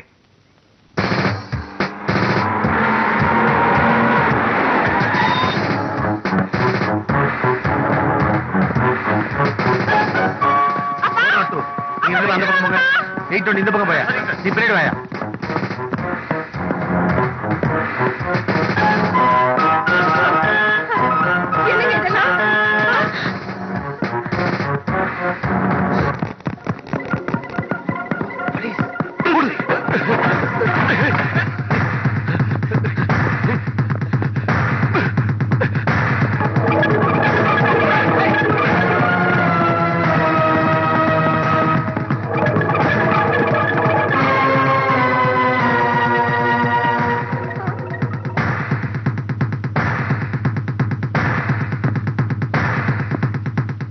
சொல்லாம கொள்ளாம இப்படி திடீர்னு ஆமா நீ யாரியா நான் தான் இந்த வீட்டுக்கு ஓனர் என்ன தைரியம் தான் ஒரு கொலகாரனை வீட்டுக்குள்ள மறைச்சு வச்சுக்கிட்டு என்ன இந்த கேள்வி கேட்ப கொலையா சார் சார் காளியப்ப தப்பிச்சிட்டா சார் காளியப்பன் தப்பிச்சிட்டான வரத கொலை கேஸ்ல முதல் குற்றவாளியை மறைச்சு வச்ச குற்றத்துக்காக உன்னை அரெஸ்ட் பண்ண சார் எனக்கு எதுவுமே தெரியாது சார் எதுவுமே தெரியாதா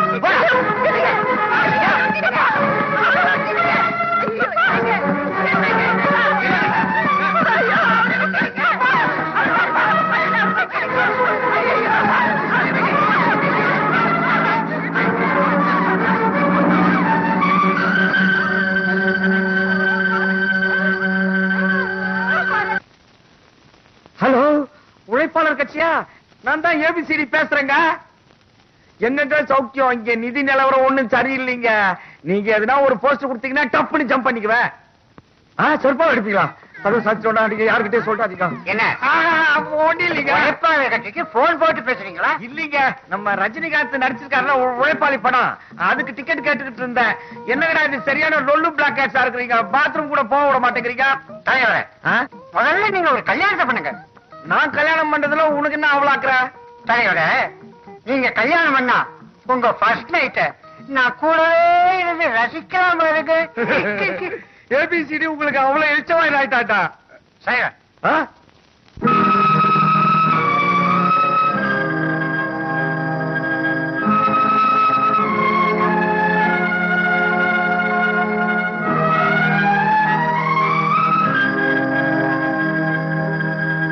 ஆ? மனம் தத்தளிக்குது. ரெண்டு பிள்ளைகளும் தள்ளி நிக்குது இன்னும் பெத்த கடன் தீரவில்லையா? ரெட்ட பாசத்துக்கு அர்த்தமில்லையா? பெத்த மனம் தத்தளிக்குது. ரெண்டு பிள்ளைகளும் தள்ளி நிக்குது இன்னும் பெத்த கடன் தீரவில்லையா? பெற்ற பாசத்துக்கு அர்த்தமில்லையா?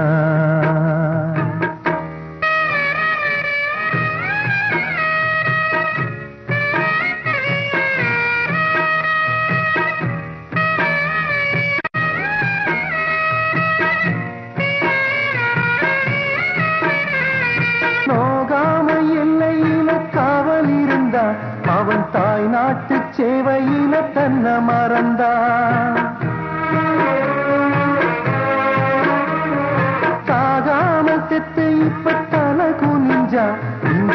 செய்யாத தப்புக்கு அவன் சிறை புகுந்தா. பெத்ததுக்கு நன்றி இந்த ஜெயில் உடையா. அவன் தீடு நடை போட்டதெல்லாம் பழங்கதையா. சத்தியத்தின் சுதனென்ற முடியலையா அந்த சாமிக்கு இன்னும் கிழக்குல விடியலையா நல்ல நியாய கதவு எப்போது திறக்கும்? போஸ்ட்மார்ட்டம் ரிப்போர்ட்டா சொல்லுங்க சார் ஓகே டாக்டர் அப்படியா? ஓஹோ. உட்கார் ரொம்ப நல்ல நியூஸ் சொன்னீங்க doctor. Thank you very much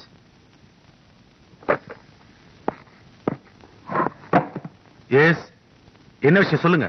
inspector sir பழனிவேல ஜாமீன்ல எடுக்க வந்திருக்கோம். இந்தாங்க கோர்ட் ஆர்டர் நியாயமா பார்த்தா அந்த ஜாமீனுக்கு அவசியம் இல்ல. செத்து போன மாரட பல்லதான் செத்து போனான்னு. இப்பதான் கவர்மெண்ட் ஹாஸ்பிடல் போன் வந்துச்சு. கான்ஸ்டபிள் அவர் ரிலீஸ் பண்ண.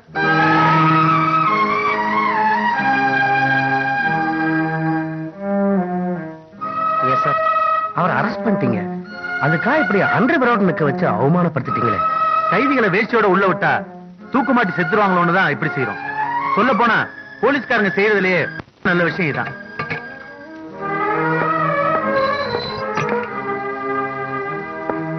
இதுல ஒரு கைத்து போடுங்க சார்.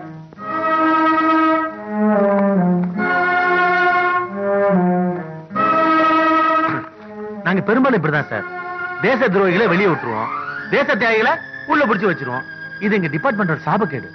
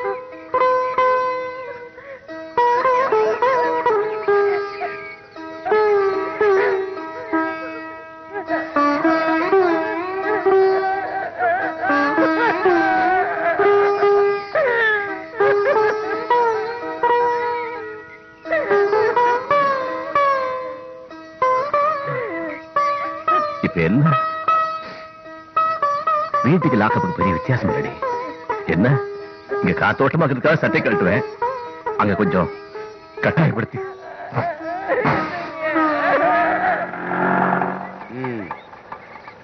வரட்டுமா? சரி தலைவர். அட வாங்கப்பா. இப்பதான் வந்தீங்களா? உங்களை வெளியில கொண்டாடுறதுக்குள்ள போதும் போதும் ஆயிடுச்சு. நானே ஸ்டேஷனுக்கு வந்தா ஆளுங்கட்சிக்காரங்க அதிகாரத்தை பயன்படுத்திட்டாங்கன்னு தப்பா பேசிடுவாங்க. அதனால அண்டர் கிரவுண்ட்லயே மூவ் பண்ணி வெளியே கொண்டாந்துட்டேன். ஆமாமா தியாகி பழனிவேல் தியாகி பழனிவேல் தியாகி பழனிவேல் தியாகி பழனிவேல் என்ற தியாகி பழனிவேல் என்ற தியாகி பழனிவேல்.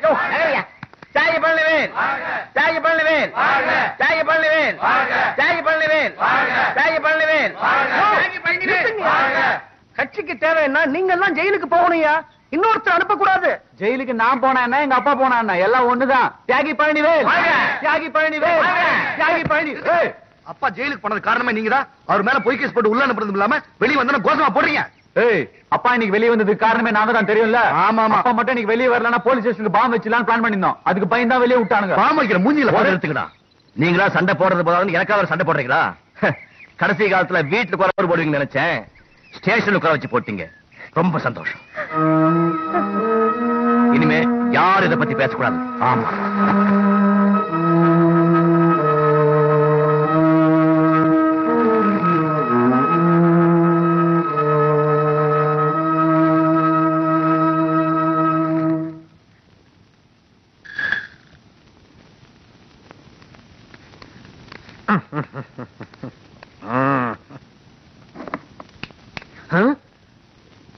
உங்களை நான் உட்கார வர சொன்னேன். இப்ப நீங்க எங்களை வர சொன்னீங்களா? நாங்களா வரல? அதே மாதிரிதான். என்ன வேணும் உங்களுக்கு? டிங் டிங் தான். தம்பி இந்தியாவில் இருக்கிற ஜாதி மத இன வேறுபாடுகளை அழிச்சு நூத்துக்கணக்கான பாஷைகளை ஒழிச்சு கன்னியாகுமரியில இருந்து காஷ்மீர் வரைக்கும் கன்யா காஷ் அப்படின்னு ஒரு புது மொழியை அறிமுகப்படுத்துறதுக்காக பாத யாத்திரையா வந்துகிட்டு இருக்காரு எங்க தலைவர் குர்பானி சிங். அவருக்காக நன்கொடை வசூல் பண்ண வந்திருக்கிறோம். ஆயிரம் ரூபாய்க்கு மேல எவ்வளவு வேணாலும் தரலாம். ஆமா. அவர் யார் பாத யாத்திரையா வர சொன்னா? பஸ்லயே கார்லயே வர வேண்டியதானே அத பத்தி எல்லாம் நீ பேசாத. பாத யாத்திரை வராரு பணத்தை கூட அவ்வளவுதான். பணம் தரத பத்தி இல்ல. பாத யாத்திரைன்னா என்னன்னு உங்களுக்கு தெரியுமா? பாத யாத்திரைன்னா ம், ம், பாத யாத்திரை தம்பி அதெல்லாம் ராஜ ரகசியம். வெளியே தெரிஞ்சா இந்தியாவுக்கும் சைனாவுக்கும் சண்டை வந்துரும். ம். நீ பணத்தை கூட பேசாம. தெரியாம தான் கேக்குறேன். பாத யாத்திரையா வரவருக்கு பணம் எதுக்கு? மேடையில பேசணும்னா மைக் வேணும். கட்டடத்தை திறக்கிறதுக்கு கத்திரிக்கோல் வேணும். பாத யாத்திரையா வர்றதுக்கு செருப்பு தானே வேணும்? கழட்டி தட்டுமா? என்னடா சொல்ற? தம்பி வேண்டாம். ஆயிரம் தான் இருந்தாலும் அக்ரிகல்ச்சர் ஆபீஸ்ல பூந்து அடிக்கப்படாது. இவனை எங்க அடிக்கணுமோ அங்க அடிப்போம். பாத யாத்திரை தானே கிண்டல் பண்ண? உன்னை ஊர் ஊரா பாத யாத்திரை பண்ண வைக்கல? நாங்க ஆளுங்கட்சிக்காரங்களே இல்ல வாங்க தலைவா போலாம். இதுக்கு நான் படிச்சு படிச்சு சொன்னேன் படிச்சவங்க கிட்ட வசூலுக்கு போக வேண்டான்னு. கேட்டியா நீ? ஆமா தலைவா. அவன் கேட்டதுக்கு அப்புறம் தான் எனக்கே சந்தேகம் வருது. பாத யாத்திரைன்னா என்ன தலைவா? யாருக்கு தெரியும். தலைவர் குர்பானி சிங் தங்க தலைவர் குர்பானி சிங் தங்க தலைவர் குர்பானி சிங் மக்கள் தலைவர் குர்பானி சிங்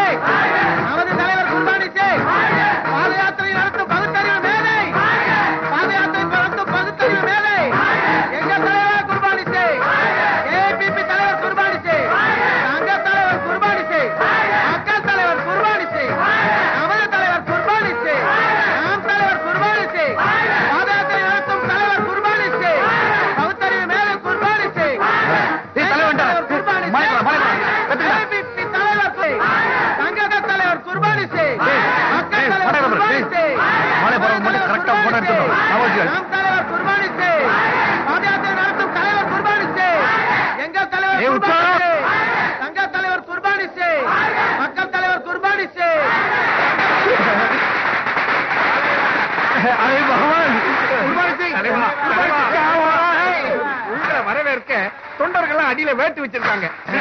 குண்டு இல்ல? பட்டாஸ் மலர் மலை எங்கப்பா?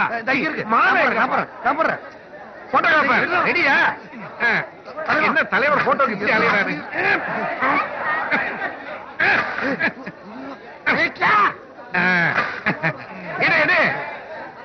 சிகரெட்.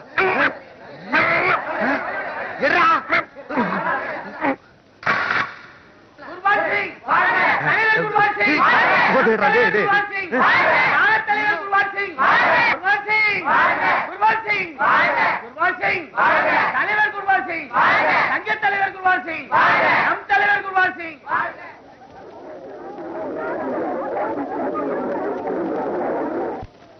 நாரியல் காபானி நாரியல் காபானி நாரியல் காபானி நாரியல் காபானி நாரியல் காபானி நாரியல் காபானி நாரியல் காபானி நாரியல் காபாணி ஓஹோ தலைவர் சரக்கு கேட்கிறாரு ஆஃபா ஃபுல்லா மெக்டோவலா ஜானக்ஷாவா நெப்போலியனா? ராம் ராம்! ஓ ரம்மா? குதிரை இங்க குடிக்கிற ஐட்டம். குதிரை என்ன அவருக்கு தெரியாதா? கணசி வேற காட்டணுமா? நகி நகி!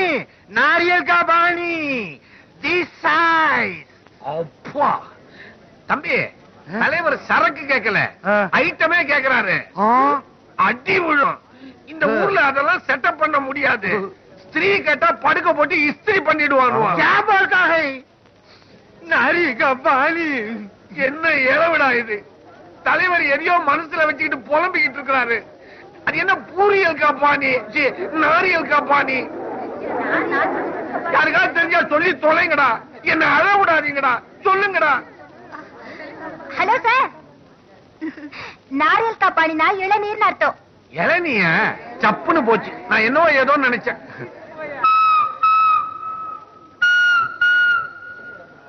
ஏய் தலைவரை வெட்டுங்கடா. அடி தலைவருக்கு எழுதி வெட்டி கொண்டாங்கடா. போங்கடா. போடா போடா.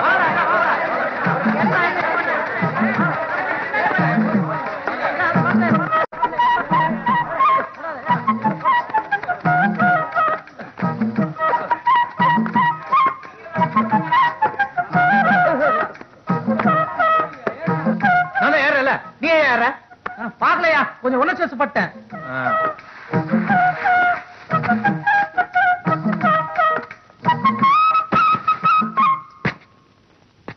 அங்க நடக்கிற கன்றாவிய நீ போய் பாருமா அப்பா அட என்னப்பா இன்னும் இங்கே உட்காந்துருக்கீங்க வந்து பாருங்கப்பா. உங்களுக்கு தலைவர் வெயிட் பண்ணிட்டு இருப்பாரா? நான் எதுக்குப்பா அங்கெல்லாம்?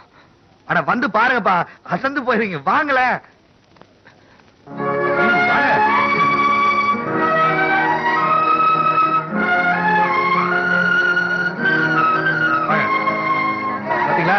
எல்லாம் நம்ம தோட்டத்து காய் தான்.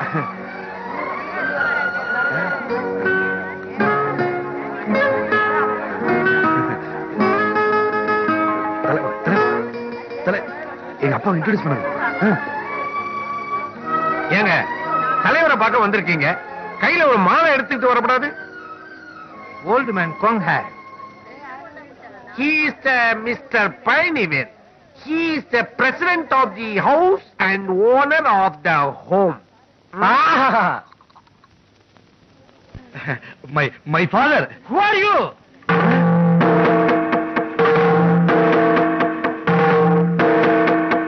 அடிமட்ட தொண்டனை அடியோட மறக்கிறது அரசியல்ல சகஜம். விடு ஐயா தலைவர் காலில் விழுந்து ஆசீர்வாதம் வாங்கிங்க. அப்பா என்னப்பா யோசிக்கிறீங்க? அவன் இவர் காலில் விழுந்து தவங்க கிடக்குறான். உங்களுக்கு அந்த பாக்கியம் கிடைச்சிருக்கு விடுங்க போ என் கையில விளங்க மாட்டா கூட நான் கவலைப்படல என்ன போய் எவனோ ஒருத்தன் கால் விட சொல்றியே டேய் இந்த உலகத்துல பழனிவேல் ரெண்டே பேர் கால் தாண்டா விடுவான் ஒன்னு பெத்த தாய் கால்ல இன்னொன்னு பாரத தாய் கால்ல ये कौन है उसका अंदर आकर डिस्टर्ब करता है तमिलनाडु में शांति लगी गई उसको गटल करो क्या बोला मैं बाहर जाना मेरा घर का अंदर आकर मुझे बाहर जाने के लिए बोलते हैं तुम தமிழ்னா எல்லாருக்கும் கேவலமா போயிடுச்சு எங்கிருந்தோ வந்தவெல்லாம் தமிழ்நாட்டுல வசதியா வாழ்ந்துட்டு இருக்கான். ஆனா போற இடத்துல எல்லாம் தமிழ பணமாகிட்டு இருக்கான். காந்தி சுதந்திரம் வாங்கி கொடுத்தது இந்தியா மொத்தத்துக்கு தான் தமிழ்நாடு கர்நாடகா பம்பானி தனித்தனியா இல்ல. ஆகஸ்ட் பதினஞ்சாம் தேதி இந்தியா முழுக்க கொடியேத்தி கொண்டாடுறோம். அந்த ஒரு நாள் மட்டும் இந்தியனா இருக்கிற நாமம். ஏன் வருஷம் பூரா இந்தியனா இருக்க கூடாது இனிமேலாவது இந்திய உணர்வு மறந்துட்டு இந்தியனா வாழ முயற்சி பண்ணு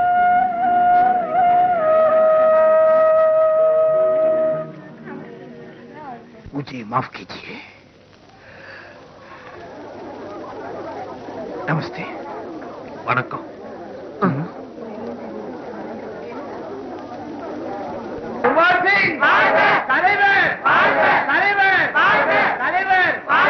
இறங்குமா நீ எதுக்கு தலைவர் வண்டியில ஏற தலைவர் கூடவே இருந்து அவருக்கு பணிவிட செஞ்சு அவருடைய அவரோட ஆ, ஆ, வாழ்க்கை வரலாற எழுதலான்னு முடிவு பண்ணிட்டேன்.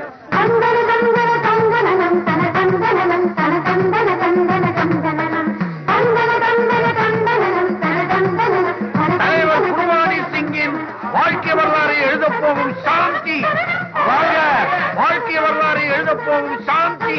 வாழ்க வாழ்க்கை வரலாறு எழுத போகும் சாந்தி. வாழ்க தலைவர் குருபானி சிங்.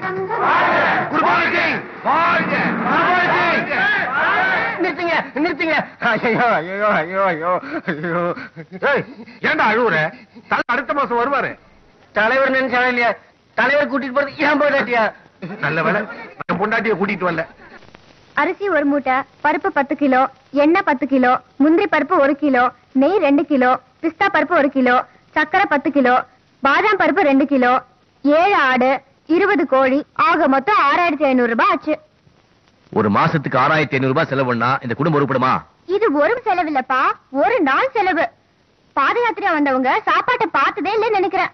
தயிர் சாதத்துக்கு கூட நெய் ஊத்தி சாப்பிட்டாங்க. அது கூட பரவாயில்லப்பா. அந்த அலமாரில இருந்த புடவை வாட்ச் எல்லாத்தையும் தூக்கிட்டு போயிட்டாங்க. அது பரவாயில்ல மாமா. போனவங்க சாப்பிடுற தட்டு டம்ளர் கரண்டி ஒண்ணுமே இல்லாம சுத்தம் பண்ணிட்டு போயிட்டாங்க. அப்பா நான் யாரு? நான் யாருப்பா இந்த வீட்டுல சொல்லுங்க. கேக்குறேன்ல? பதில் சொல்லுங்க. இந்த வீட்டுல நான் யாரு? இது கூட தெரியலையா. நீ எனக்கு அப்பா தாத்தாவுக்கு பிள்ளை. வாய முறை கழுத. இன்னைக்கு நான் யாருன்னு தெரிஞ்சாகணும். இந்த வீட்டுல அவனுக்கு இருக்கிற மரியாதை எனக்கும் இருக்கணும். பாத யாத்திரைக்கு வந்த பரதேசிங்களா நம்ம தான் திங்கணுமா? அப்பா என் கட்சிக்காரங்க லெப்ட் ரைட் வாங்குறாங்க தெரியும்ல? என் கட்சிக்கு ஒரு பொதுச் செயலாளர் இருக்காரு. அவர் நம்ம ஊருக்கு கொண்டு வந்து வீட்டுல தங்க வச்சு சாப்பாடு போடுவேன் ஒரு பத்தாயிரம் ரூபாய் ரெடி பண்ணி வச்சுக்கோங்க. ஆமா. இளையவன் எட்டு அடி பாஞ்சா? மூத்தவ பதினாறு அடி பாயிறான். தங்கச்சி கல்யாணத்துக்கு பந்தி போட வேண்டியவங்க கட்சிக்காரவங்களை கூப்பிட்டு பந்தி போடுறாங்க. இதுக்கப்புறமாவது ஒரு நல்ல முடிவுக்கு வாங்க. சின்னவன் பட்ஜெட் ஆறாயிரத்தி ஐநூறுனா பெரியவன் பட்ஜெட் பத்தாயிரமா? சபாஷ் பட்ஜெட்ல துண்டு விழலாம். இப்படி குண்டு விழக்கூடாது. அஞ்சு பொண்ணுங்களை பெற்றாலே அரசு ஆண்டியாருது அந்த காலம். ரெண்டு அரசியல்வாதிகளை பெற்றாலே அரசு ஆண்டியாருது இந்த காலம். பழனி உன் பசங்க உனக்கு மொட்டை போட்டு கையில வேலை கொடுக்கறதுக்கு முன்னாடி உன் பொண்ணை ஒருத்தன் கையில புடிச்சு கொடுத்துருப்பா. அதுக்காக தாண்டா உன்னை வர சொன்னேன். விஜய் கல்யாணத்துக்காகத்தான் இந்த நிலத்தை வச்சிருக்கேன். இதை வித்து அவ கல்யாணத்தை முடிச்சிடலாம். நிலத்துக்கு ஒரு பார்ட்டியும் பொண்ணுக்கு ஒரு பையனையும் பாரு. பார்ட்டிய நான் பாத்துறேன்ப்பா ஆனா பையன் ஏற்கனவே ரெடியா இருக்கான். என்னடா சொல்ற? அதான்ப்பா. அந்த அக்ரிகல்ச்சர் ஆபீசர் தங்கமான பையன் கை நிறைய சம்பாதிக்கிறான். உன் பொண்ணுக்கு ரொம்ப பொருத்தமா இருப்பான்ப்பா. சார் என்னோட படிப்பு தகுதியை வச்சு ஆபீசர் போஸ்ட் கொடுத்தாங்க. ஆனா எந்த தகுதியுமே இல்லாம அனாதையான எனக்கு மாப்பிள்ளை போஸ்ட் கொடுத்துருக்கீங்க. அரசாங்க பதவி தலை நரைச்சிருச்சுன்னா போயிடும். ஆனா நீங்க கொடுத்திருக்கிற பதவி தலைமுறைக்கும் போகாது.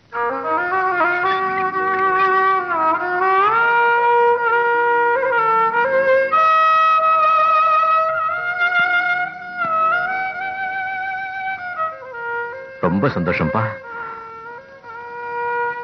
கண்ணம்மா ஒண்ணுடா என்னப்பா? யார கேட்டு இந்த கல்யாணத்தை முடிவு பண்ணீங்க? இத பாருடா தாலி கட்ட வேண்டிய மாப்பிள்ளை கேட்டாச்சு கழுத்து நீட்ட வேண்டிய பொண்ணு கேட்டாச்சு வேற யார கேட்கணும்? கூட பிறந்த அண்ணனா? என்ன ஒரு வார்த்தை கேக்குறது இல்லையா? ஓ நீ அண்ணன் இல்ல சொன்னாதான்ப்பா ஞாபகமே வருது. அவ பிறந்ததுல இருந்து அவனுக்கு அண்ணனா ஒரு பத்து பைசா மிட்டாய் வாங்கி கொடுத்திருப்பியா? மஞ்ச நீராட்டு விழா நடக்கும்போது கட்சிக்காக தீ குளிக்க போறேன்னு போயிட்டியே அப்பெல்லாம் வராத அண்ணன் இப்ப எங்க இருந்துப்பா வந்த? சும்மா கத்தாதீங்கம்மா. அவ கல்யாணத்தை எப்படி வேணா நடத்தணும் ஆசைப்பட்டேன் தெரியுமா? என் தங்கச்சிக்கு ஒரு மந்திரியோட மகனை மாப்பிளையாக்கி ஒரு முதலமைச்சர் தலைமையில கல்யாணத்தை நடத்தணும்னு நினைச்சேன். ச்சே இப்படி அவசரப்பட்டு ஒரு அண்ணாரங்கட்சிக்கு பேசி முடிச்சிட்டீங்களாமா? சபாஷ் அண்ணனா இப்படித்தாண்டா இருக்கணும். நீ ஆசைப்படுறது தப்பு இல்லப்பா ஆனா உன் தங்கச்சி கல்யாணம் இருபது வயசுல நடக்கணும். அறுபது வயசுல நடக்கூடாது நீ சொல்ற மாப்பிள ஆட்சியில் இருக்கிற வரைக்கும் தான் அவளை காப்பாத்துவான். நாங்க பார்த்திருக்கிற மாப்பிள ஆயுசுக்கும் காப்பாத்துவான். அவன் எங்க கட்சியை அவமானப்படுத்திட்டான். எங்களால அவனுக்கு எந்த நேரம் ஆபத்து வரலாம். ஆட்டை கடிச்சு மாட்டை கடிச்சு கடைசியில அடிமடியிலே கை வச்சிட்டியா? நீ அரசியல் இறங்கினா நம்ம குடும்பத்துக்கு விமோச்சனம் வரும்னு நினைச்சேன். ஆனா அதுவே நமக்கு வில்லங்க ஆகிற மாதிரி இருந்தா ஒண்ணு நீ கட்சியை தூக்கி எறியணும். இல்ல நான் உன்னை தூக்கி எறிய வேண்டி வரும். இவ்வளவு தூரம் நான் சொன்னதுக்கு அப்புறமா இந்த கல்யாணம் நடந்ததுன்னா கண்டிப்பா அந்த கல்யாணத்துக்கு நான் வரமாட்டேன். பத்து வருஷம் கழிச்சு பட்டாளத்துல இருந்து வந்தேன். கூப்பிட ரயில்வே ஸ்டேஷனுக்கு வரல. பெத்தப்பன சட்டை கழட்டி லாக்கப்ல தள்ளினாங்க. ஜாமீன் எடுக்க போலீஸ் ஸ்டேஷனுக்கு வரல. அப்பெல்லாம் கவலைப்படாதன்னா நீ கல்யாணத்துக்கு வரலன்னா கலங்கிட போறேன். உன்னை சீர்சைய கூப்பிடலப்பா. வந்து சோறு சாப்பிட்டு போ. சக்தி.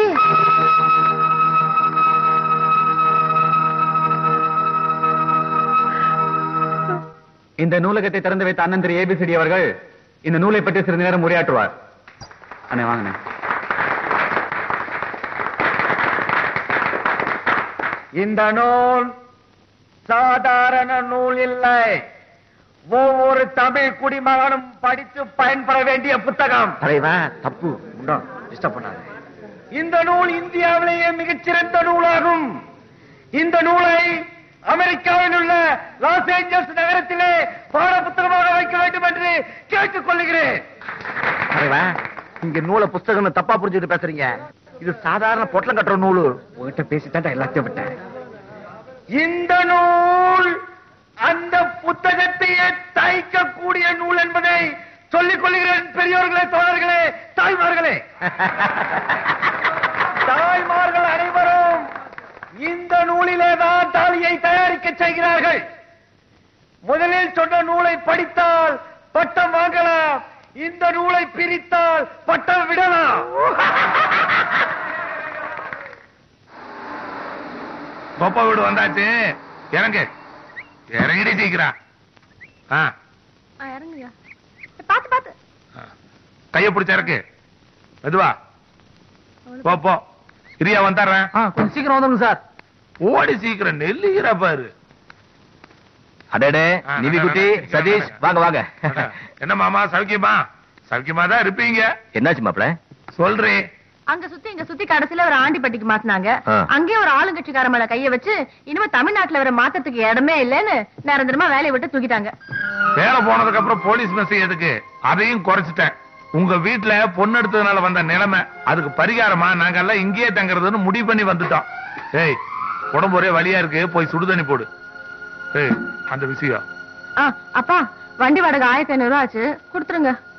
மாமா ஆத்துல போட்டாலும் அளந்து போட்டு இருக்காங்க.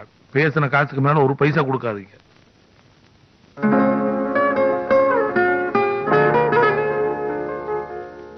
என்னடி நீ இன்னும் ரெடி ஆகலையா? நம்ம ஊர்ல பெரியசாமி தாத்தாவோட அறுபதாம் கல்யாணத்துக்கு போகணுங்கிறதே மறந்து போச்சா? சீக்கிரம் கிளம்புமா? அப்பா வெயிட் பண்ணிட்டு இருப்பார்ல. சக்தி அவங்க அம்மாலாம் இந்நேரம் வந்திருப்பாங்க. சரிம்மா.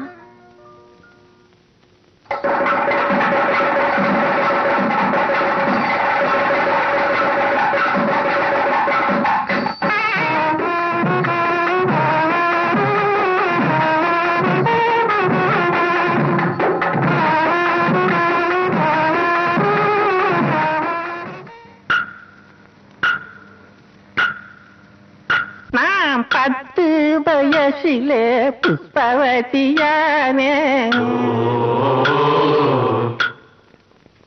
நான் பதினோரு வயசிலே மாறாப்பு போட்டேனே. பதினஞ்சு வயசுல மாமன்காரன் வந்தான். இருபத்தோரு வயசுல பத்து புள்ள பெத்து புட்டேன்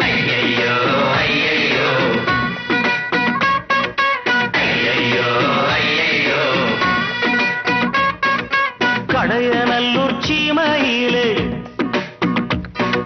புடவ வாங்க வந்த புள்ளு. கடையநல்லூர் சீமையிலே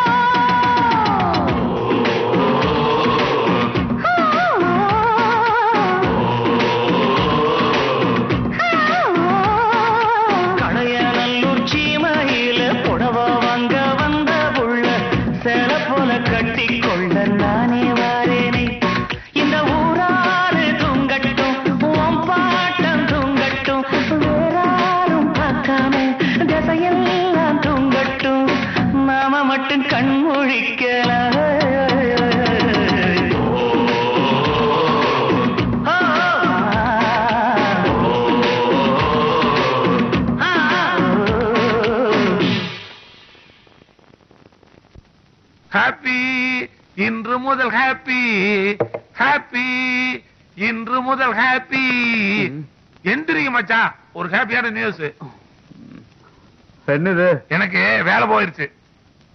இவங்க ஆட்சி தானே வேலை போச்சு? கூடி சீக்கிரம் ஆட்சியே போக போகுது. எங்க ஆட்சி வந்துட்டு மச்சான். உன்னை ஐஜி ஆக்கிடுறோம். ரொம்ப சந்தோஷம் மச்சான். என் நெஞ்ச நக்கிட்டீங்க. நீங்க ஆட்சிக்கு வந்தா என்ன ஐடி ஆக்குறீங்களா? பிச்சிருவன் பிச்சு. டேப் வாங்கி தர்றேன் வாயில ஒட்டிக்கிங்க. மூஞ்சி பாருங்க ஐடி ஆக்குறானா. இந்தாங்க காஃபி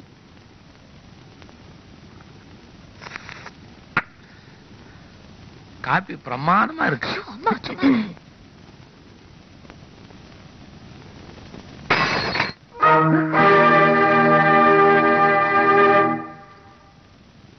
காப்பி அடியுது தண்ணி மாதிரி இருக்கு. எருமாடு குடிக்க வேண்டியதெல்லாம் எனக்கு கொண்டு வந்து கொடுக்குறீங்க. எல்லாரும் கவனமா கேட்டுக்கங்க. நாளையில இருந்து காலையில ஹார்லிக்ஸ் வேணும் போன்விட்டா வேணும் எக்ஸசைஸ் பண்ணதுக்கு அப்புறம் சூப் வேணும். சொல்லி வை.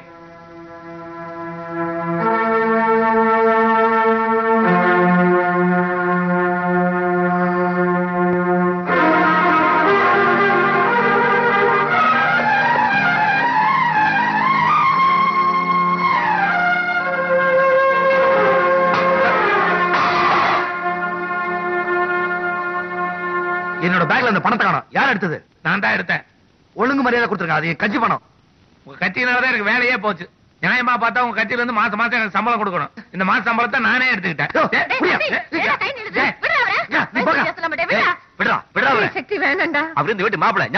ஆமா பெரிய மாப்பிள கட்ட பொண்டாடி சோறு போட வைக்கல. மானம் கட்டு போய் மாமனார் வீட்டுக்கு வந்து இவருக்கு போய் வைக்கிறது வாங்குறீங்களே நாங்க ஒண்ணும் சோத்துக்காக இங்க வரல. இந்த வீட்டு சொத்துல எங்களுக்கும் பங்கு இருக்கு. அப்பா இவ்வளவு தூரம் ஆனதுக்கு அப்புறம் எங்களுக்கு சேர வேண்டியது பிரிச்சு கொடுத்துருங்க. அப்படி போடு.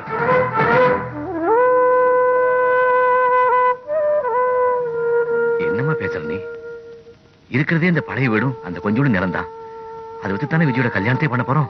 ஆமா மூத்தவளுக்கு கல்யாணம் பண்ணி கொடுத்து ஓஹோன்னு வாழற இப்ப இளையவளுக்கு கல்யாணம் ரொம்ப அவசியம். டேய் அவங்க கிட்ட என்னடி அவ்வளவு நியாயம்? எப்ப உன் தம்பியை சட்டை பிடிச்சானோ அப்பவே இந்த வீட்டுல இருக்க நான் தயாரா இல்ல வாடி போலாம். மாப்பிள குடும்ப பிரச்சனை வெளியில பேச வேண்டாம். வீட்லயே பேசிக்கலாம். வீடு சிறுசா இருக்கு கோர்ட் பெருசா இருக்கும் அங்கேயே பேசிக்கலாம். வாடி வாடி நட நடக நட, நட, கோர்ட்டுக்கு நட. போற மோரே பாரு.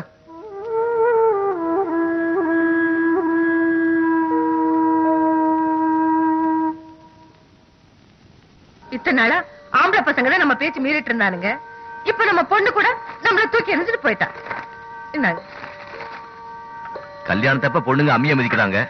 அதுக்கப்புறம் அப்பா அம்மா மதிக்கிறாங்க.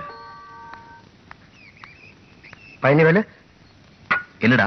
அஹ், ஒரு நிமிஷம். என்னன்னு? அஹ், அது ஒண்ணும் இல்லம்மா ஒரு சின்ன விஷயம் அவ்வளவுதான். இப்ப வந்துருவோம்.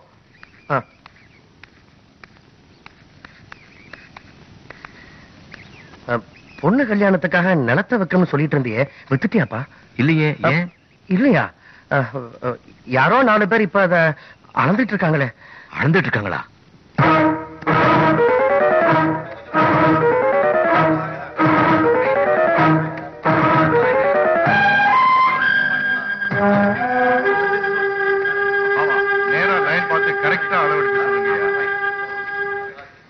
சார் நீங்க எல்லாம் யாரு?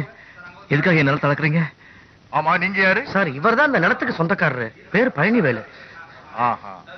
மிஸ்டர் பழனிவேல் இந்த நிலத்தோட டாக்குமெண்ட்ஸ் உங்க சன் சிவா எங்க பேங்க்ல அடமானம் வச்சு தான் கடன் வாங்கியிருக்காரு. வாங்கின கடனுக்கு மேல வட்டி சேர்ந்துருச்சு. அதனால நாங்க இந்த நிலத்தை ஜப்தி செய்யறதா முடிவு செஞ்சிருக்கோம். சார் ஆக்சுவலா இது என் மனைவியோட சொத்து.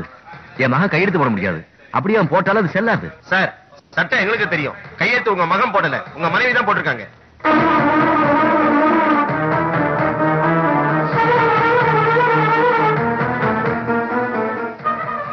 சார் இந்த நிலத்தை நம்பித்தான் என் பொண்ணோட கல்யாணத்தையே வச்சிருக்கேன். ஜப்தி நிறுத்த வேற வழியே இல்லையா? சாரி சார் ஆறு மாசத்துக்கு முன்னாலேயே நாங்க உங்களுக்கு ஜப்தி நோட்டீஸ் அனுப்பிச்சிட்டோம். அதுக்கு எந்த விதமான பதிலும் உங்ககிட்ட இருந்து வரல. அதனாலதான் நாங்க இந்த முடிவுக்கு வந்தோம். இனிமே ஒண்ணும் பண்ண முடியாது சார் பெத்த மனம் தத்தளிக்குது. ரெண்டு பிள்ளைகளும் தள்ளி நிற்குது. இன்னும் பெத்த கடன் தீரவில்லையா? ரெட்ட பாசத்துக்கு அர்த்தமில்லையா? பெத்த மனம் தத்தளிக்குது. ரெண்டு பிள்ளைகளும் தள்ளி நிற்குது. இன்னும் பெத்த கடன் தீரவில்லை. பழக்கமில்லையா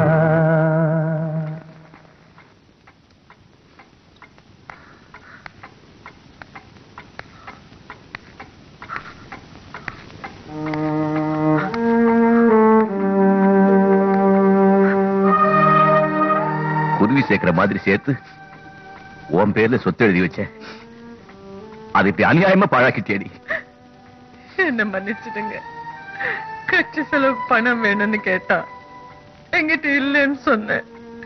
பத்திரத்துல கையெழுத்து போடலன்னு செத்துடுவேன்னா. பெத்த மனசு கேட்காம தப்பு பண்ணிட்டேங்க. அவன் உயிர் காப்பாத்துறேன்னு உன் பொண்ணு உயிரோட கொண்டுட்டியாடி இனிமே அவளுக்கு எப்படி கல்யாணம் நடக்கும்? ஒரு பொண்ணு பத்து மாசம் வயித்துல சுமக்கலாம். ஆனா பதினாறு வயசுக்கு அப்புறம் வீட்டுல சுமக்க கூடாது ஒரே ஒரு கையெழுத்து போட்டு அவ தலையெழுத்தையே மாத்திட்டியாடி.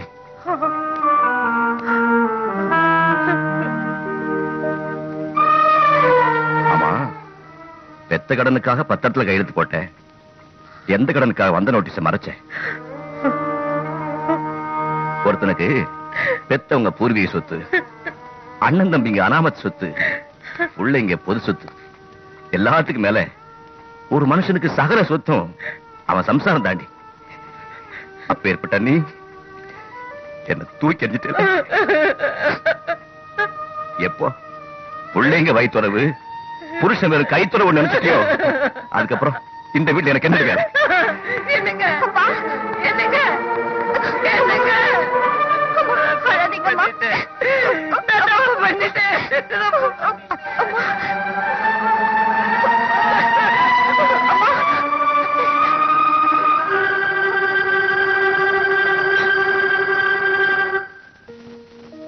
இப்படி பசங்களை பெற்றதுக்கு பொண்ண மாதிரி பிள்ளை குட்டிகளே பெறாம இருந்திருக்கலாம். அதை விட கல்யாணமே பண்ணாம இருந்திருந்தா எவ்வளவோ நிம்மதியா இருந்திருக்கும். பழனி உன் பொண்டாட்டி மேல எந்த தப்பு இல்லப்பா. அந்த நிலைமையில வேற யார் இருந்தாலும் இதே தான் செஞ்சிருப்பாங்க. இதோ பார் நாலு கம்பிக்கு மத்தியில் நீ அனுபவிச்சிய வேதனை. அதை விட அதிகமான வேதனைய இப்ப நாலு செவுத்துக்கு மத்தியில லட்சுமி அனுபவிச்சிட்டு இருப்பா வீட்டுக்கு போப்பா.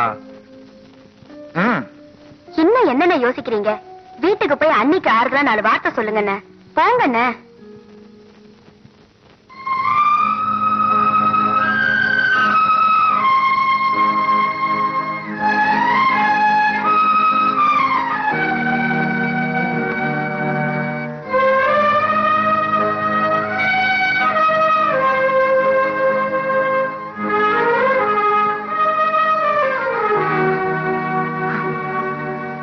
கல்யாணத்தப்பா சீதனமா என்ன வேணும்னு கோப்பா கேட்டாரு.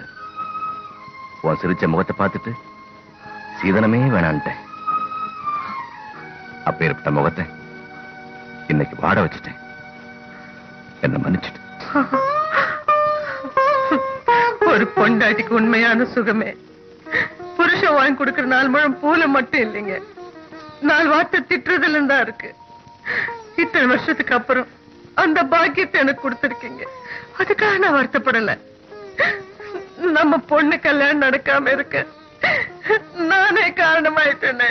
அப்படி பார்த்தா ஒரு விதத்துல நான் கூட தப்பு பண்ணிட்டேன்.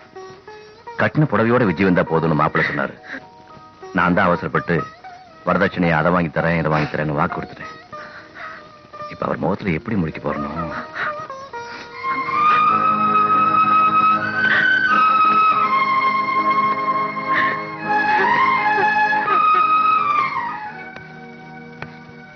மாமா.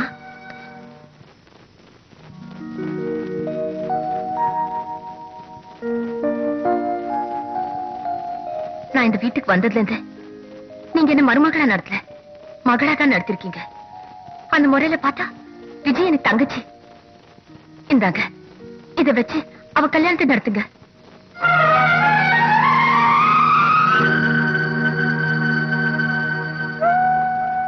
இது பரிதாபம் இல்லை. புருஷ செஞ்ச தப்புக்கு பொண்டாட்டி தேடுகிற பரிகாரம். கௌரி சொன்னாலும் சொல்லாட்டாலும் நீ என் மகதாம்மா. ஆனா மூத்தவ கழுத்தை மூலியாக்கிட்டு இளையளவு கல்யாணம் பண்ற அளவுக்கு நான் அவ்வளவு கல்மனசுக்காரன் இல்லை.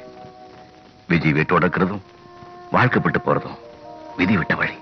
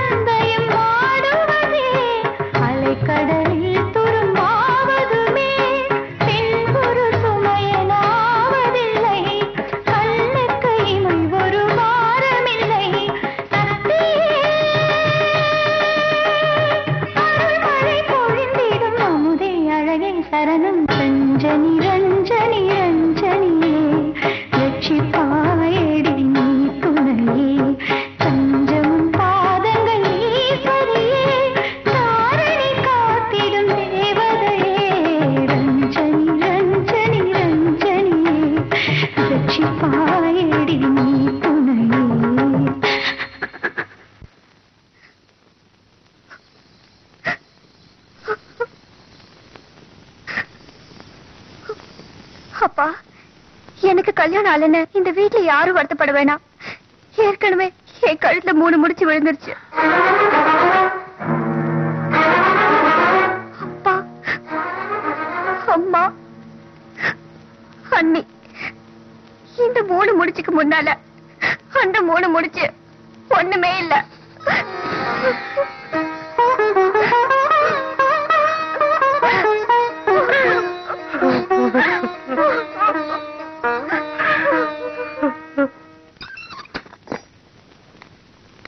வாங்க சார். நானே வீட்டுக்கு வரலான்னு இருந்தேன். இன்விடேஷன் மாடல்ஸ் வந்திருக்கு. நீங்களே ஒன்னு செலக்ட் பண்ணுங்க. நான் செலக்ட் பண்ற எதுவுமே இப்ப சரியா நடக்கிறது இல்லப்பா ஆ ஒன்னு சொல்ல மறந்துட்டேன். கல்யாணத்துக்கு கைநெட்டிங் ஹோண்டா கேட்கணும்னு நினைச்சேன். அது பொம்பளைங்க ஓட்டுறதுன்னு எல்லாரும் சொல்றாங்க. அதனால ஹீரோ ஹோண்டாவே வாங்கி கொடுத்துருங்களேன். மன்னிச்சிடுப்பா. இந்த கல்யாணத்தை பண்ற தகுதியே நான் இழந்துட்டேன். என் மகன் இல்லைனாலும் உன் தகுதிக்கு எத்தனையோ பேர் பொண்ணு கொடுப்பாங்க. என் மேலுள்ள கோபத்துல எனக்கு பத்திரிக்கை வைக்காம விட்டுறாது. உனக்கு மோதிரம் போடுற பாக்கியம் தான் இல்ல. எழுதுற பாக்கியத்தையாவது எனக்கு கொடுப்பா. என்ன சார்? பயந்துட்டீங்களா? நடந்ததுலாம் எனக்கு தெரியும். ஆயிரம் பேர் முயெழுதி தான் இந்த கல்யாணம் நடக்கணுங்கிறது இல்ல. நாலு பேர் கையெழுத்து போட்டா கூட நடக்கும். இன்னொரு விஷயம். உங்க மகன் சக்தியோட மோதனதால ஆளுங்கட்சிக்காரங்க என்ன ராமநாதபுரத்துக்கு டிரான்ஸ்பர் பண்ணிட்டாங்க. இருக்கிறது 48 மணி நேரம். அதுக்குள்ள இந்த கல்யாணத்தை நடத்தியே ஆகணும்.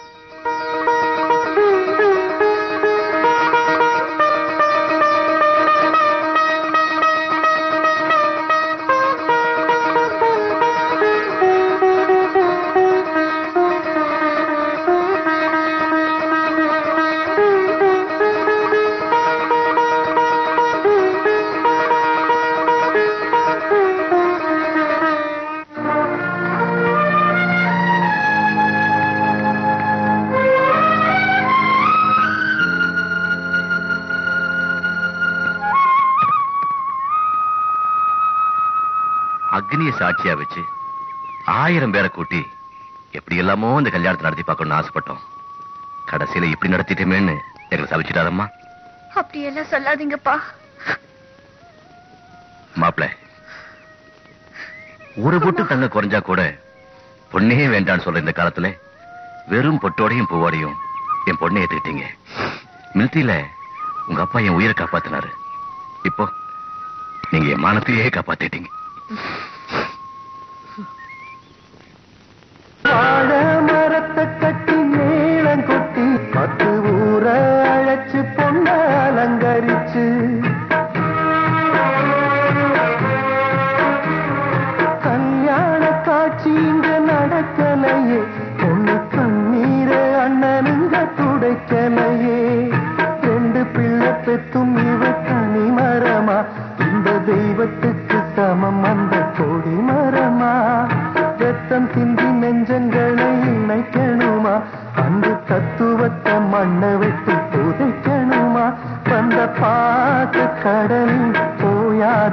அலைகள் செத்த மனம் தத்தளிக்குது. ரெண்டு பிள்ளைகளும் தள்ளி நிற்குது. இன்னும் பெத்த கடன் தீரவில்லை.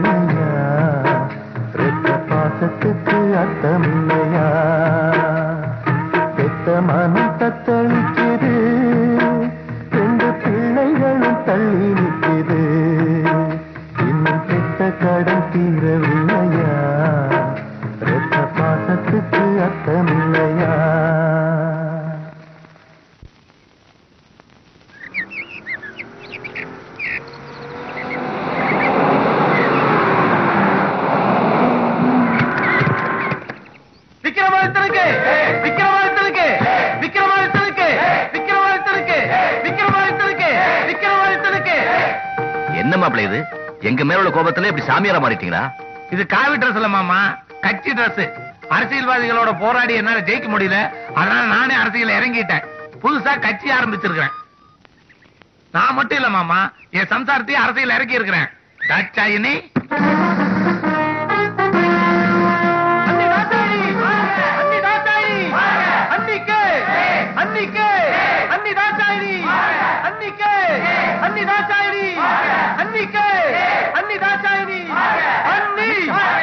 இனிமே இவங்க தான் எங்க கட்சியினுடைய இளைஞர் அணி தலைவி. எனக்கு அப்புறம் இவங்க தான் அரசியல் வாரிசு. அப்பா கட்சி ஆரம்பிக்கிறதுக்காக பேங்க்ல கடன் கேட்டிருந்தோம். ஆனா அதுக்கெல்லாம் லோன் கொடுக்க மாட்டேன்னு சொல்லிட்டாங்க. அதனால கட்சி ஆபீஸ் முன்னாடி ஒரு பெரிய உண்டியில வச்சிருக்கோம். சொத்துல தான் எனக்கு பங்கு கொடுக்கல. அட்லீஸ்ட் அந்த உண்டிலையாவது சில்லறை போட்டீங்கன்னா கொஞ்சம் சௌரியமா இருக்கும். நீங்க ஒண்ணும் சும்மா தர வேண்டாம். ஆ. இது எங்க கட்சியினுடைய கொள்கை புஸ்தகம். படித்து பாருங்க. நல்லா இருந்தா ஆயிரம் ரூபாய் கொடுங்க. நல்லா இல்லைன்னா ரெண்டாயிரம் ரூபாய் கொடுங்க. இந்தா. எங்க சின்னம் மணி சின்னம். அந்த காலத்துல அரண்மனைக்கு முன்னால ஆராய்ச்சி பண்ணி கட்டின மாதிரி நாங்க ஜெயிச்சா சட்டசபைக்கு முன்னால மணி கட்ட போறோம். பொதுமக்கள் யாராவது அந்த மணியை அடிச்சா ஃபயர் சர்வீஸ் மாதிரி பறந்து வந்து சேவை செய்ய போறோம். வெற்றி வந்த விக்ரமாதித்தன். வெற்றி வந்த விக்ரமாதித்தன். அண்ணி. அண்ணி. அண்ணி. அண்ணி? இவ்வளவு நாள் இந்த கட்சிக்காக மாடா உழைச்சோம். தலைவர் என்ன கால்ல குத்துற முள்ளுன்னு சொல்லிட்டாரு. ஒரே உரையில ரெண்டு போர்வால் இருக்கக்கூடாதுன்னு சொல்லிட்டாரு. வெத்து பேப்பர்ல வேற கையெழுத்து வாங்கிட்டாரு. எந்த நேரத்துல என் மேல பழிய சுமத்தி என்ன கட்சியை விட்டு வெளியே துரத்த போறாரோ தெரியல. அதுக்கு முன்னாடி இந்த ஏபிசி யாருன்னு நம்ம மேலிடத்துக்கு காட்டணும் சிவா. இந்த ஊர்ல ஏதாவது பிரச்சனை உண்டாக்கி பந்துக்கு ஊர்ல நடத்தினா உங்க பேர் ஒரே நாள்ல ஃபேமஸ் ஆயிடும் தலைவா? நல்ல யோசனை ஐயா. கரெக்ட் ஆ. அருமையான ஐடியா என்ன காரணத்தை வச்சு பந்து நடத்துறது? நம்ம நாட்டுல ஜனங்க சாராயம் கிடைக்காம ரொம்ப கஷ்டப்படுறாங்க. வீட்டுக்கு வீடு பாக்கெட் பால் கிடைக்கிற மாதிரி வீட்டுக்கு வீடு பாக்கெட் சாராயம் கிடைக்கும்னு சொல்லி பந்து பண்ணுவோம். டேய் நம்ம நாட்டுல எப்பவுமே லேடிஸ் சென்டிமெண்ட் தான்டா ஜெயிக்கும். அதனால தாய்மார்களை கவர்ற மாதிரி கற்பழிப்பு கிற்பழிப்புன்னு எல்லாம் ஒண்ணு பண்ணா? சூப்பர் ஐடியா தலைவா. ஆனா கற்பிழந்த பொண்ணு இப்ப போய் எங்க தேடுறது? எங்கேயும் தேட வேண்டாம். நான் இருக்கேன். இந்த ஆளுங்கட்சிக்காரங்களாலதான் நான் எல்லாத்தையுமே இழந்தேன். அவங்கள ஆட்சியை விட்டு இறக்குறதுக்காக நான் என் மானத்தையே இழக்க தயாரா இருக்கேன். அவங்க தான் என்ன மானபங்கப்படுத்திட்டாங்கன்னு நாம நீதி கேட்டு போராடுவோம். போராடுவோம் போராடுவோம். நீதி கேட்டு போராடுவோம். தலைவா வர பதினஞ்சாம் தேதி பந்த வச்சுக்குவோம். வச்சுக்குவோம். அன்னைக்கு எங்க அண்ணன் பையனுக்கு மொட்டை அடிச்சு காது குத்துறாங்க. வேணும்னா அதுக்கு அடுத்த நாள் வச்சுக்குவோம். சரிதான். காவேரியா. பாஞ்சாலி மாதிரி தலைவிரி கோலமா போட்டோக்கு ஒரு நாலு போஸ் கொடு. அது அப்படியே கற்பை சூறையாடிய கயவர் கூட்ட ஒழிகன்னு ஊர் பூரா போஸ்ட் அடிச்சு ஒட்டிடுவோம். புதுமை பெண் காவேரி. எங்கள்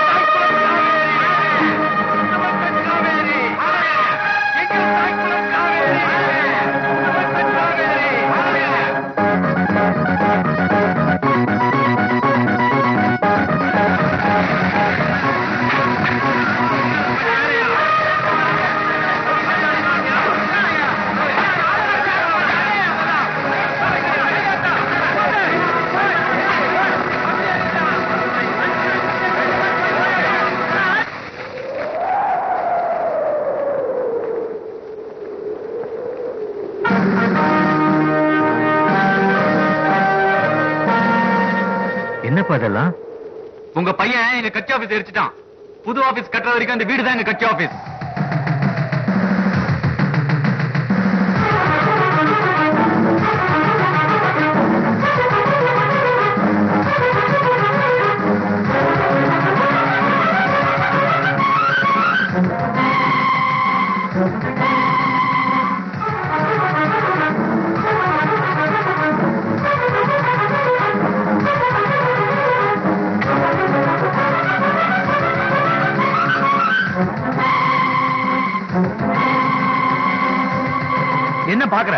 இந்த வீட்ல எனக்கும் பங்கு இருக்கு. இனிமே இதுதான் எங்க கட்சியோட இளைஞரணி ஆபீஸ் டேய் ஆரம்பத்துல இருந்து என்கிட்ட மோதிட்டு தான் இருக்க. எங்களுக்கு என்ன அராஜகம் பண்ண தெரியாது நினைச்சிட்டு இருக்கியா? நாங்க சட்டசபையிலும் பேசுவோம் சைக்கிள் செயின்லயும் பேசுவோம் தெரியுமா. ஏத்தன கூடிய மரியாதை இருக்கடா. இல்ல கையை நறுக்கிடுவேன் ஏய் மண்ணக்கவன உனக்கு எவ்வளவு திமிரு இருந்தா மந்திரி சபை அமைச்ச எங்களுக்கு எவ்வளவு திமிரு இருக்கும்? ஏய், ஏய். அப்பா என்ன தற்காலிப்பா ஒரே உரையில ரெண்டு கத்தி இருக்க கூடாது ஒரே வீட்ல ரெண்டு கட்சி கொடி பறக்க கூடாது நீங்க பறக்க விடுறது கட்சி கொடியிலடா குடும்ப மானத்தை அப்பா ஒண்ணு இந்த வீட்டுல அவன் இருக்கணும் இல்ல நான் இருக்கணும். ஏய் ஏய், ஏய் ஏய்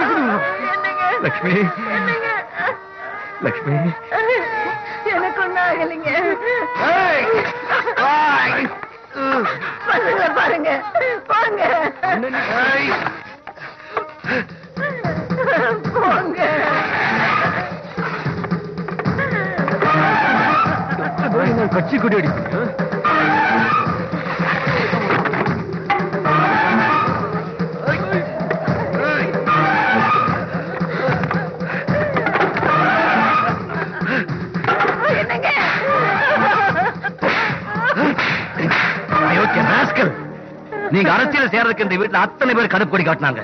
நான் ஒருத்தன் நான் பச்சை கொடி காட்டினேன். உங்க கட்சி வளர்க்கறதுக்கு என் அறுபது வருஷ கௌரவத்தையும் கஷ்டப்பட்டு சேர்த்த சொத்தையும் தானமா கொடுத்தா அத்தனை போதாதுன்னு பெத்த தாயோட ரத்தத்தையே தானமா கேட்கறீங்களா டேய் இவன் மட்டும் தொப்பு கொடியை தியாகம் இல்லாம இங்க இந்த கட்சி கொடியை பார்த்துக்க முடியாதா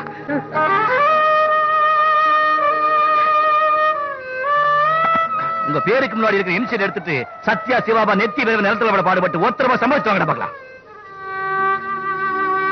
வெள்ளக்காரன் வெளியேற்றதுக்கு அப்புறம் தான் இந்தியாவுக்கே சுதந்திரம் கிடைச்சது. உங்க ரெண்டு பேரும் வெளியேற்றினா தேடாது வீட்டுக்கே சுதந்திரம் கிடைக்கும்.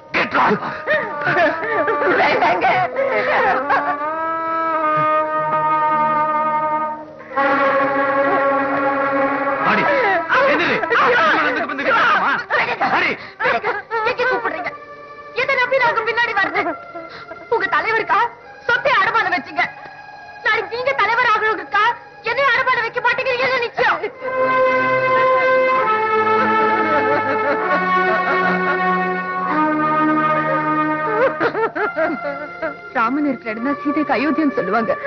ஆனா இன்னைக்கு அந்த ராமனுக்கே அயோத்தியில இடம் இல்ல. அப்புறம் சீதை எங்க போறது? இத பாருங்க. இனிமே எனக்கு பிறந்த வீடு புகுந்த வீடு ரெண்டுமே இதுதான்.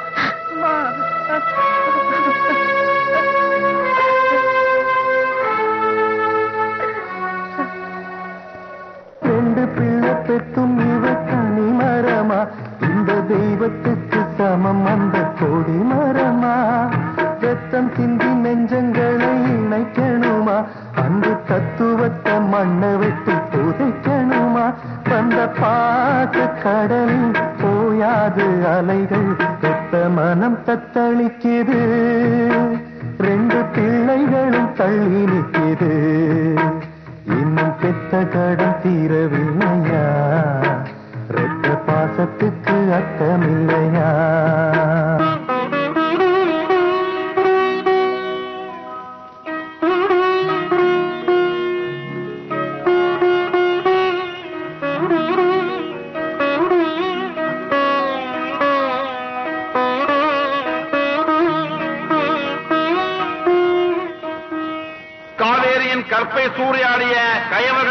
கயவர்களின் கூட்டத்தை கண்டித்து நாளை மாபெரும் பந்தோன்று நடாத்த இருக்கின்றோம். பொதுமக்களே தாய்மார்களே காவேரியின் தட்டை சூறையாடிய ஆளுங்கட்சியின் அராஜகத்தை கண்டித்து நடக்கவிருக்கும் பந்திற்கு பொதுமக்கள் ஆதரவு தருமாறு மிக தாழ்மையுடன் கேட்டுக்கொள்கிறோம். இன்றைக்கு காவேரிக்கு ஏற்பட்ட நிலை நாளை உங்களுக்கு ஏற்படாது என்பது என்ன நிச்சயம்? தலைவா ஏற்கனவே நம்ம கட்சியை பத்தி தராசலி நக்கரையும் கிளி கிளின்னு கிளிக்கிறான் இந்த பந்து நடந்ததுன்னு வச்சுங்க நம்ம ஆளுங்கட்சியா இருக்கிறதுல அர்த்தமே இல்ல. எத்தனை உயிர் போனாலும் சரி இந்த பந்து நடக்க கூடாது மிஸ்டர் பழனிவேல் உங்க மனைவிக்கு தலையில பலமா அடிபட்டிருக்கிறதுனால மூளையில பிளட் கிளாட் இருக்கு ஏற்கனவே அவங்க ஹார்ட் பேஷண்ட்ங்கிறதுனால இதயம் ரொம்ப வீக்கா இருக்கு. ஜெனரல் ஹாஸ்பிட்டல்ல நியூரோ ஸ்பெஷலிஸ்ட் இருக்காரு. நீங்க இமீடியட்டா அங்க போங்க.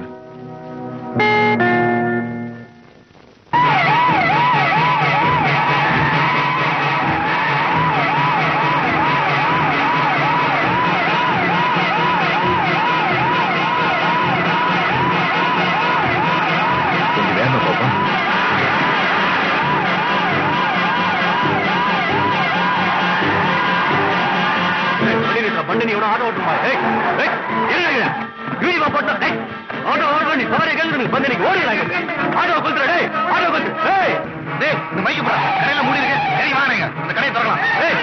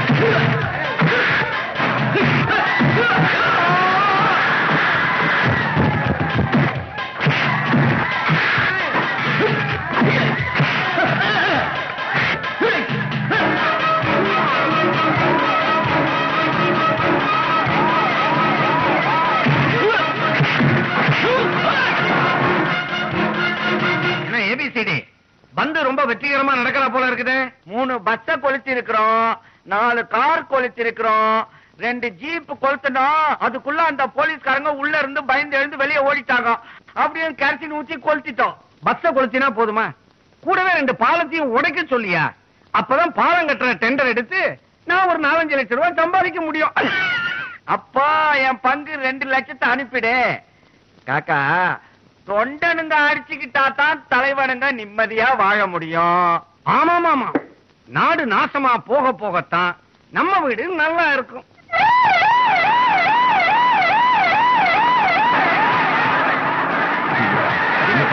இந்த கூட்டுல மாட்டிட்டோம். வழிவிடுப்பா போல பாப்பா.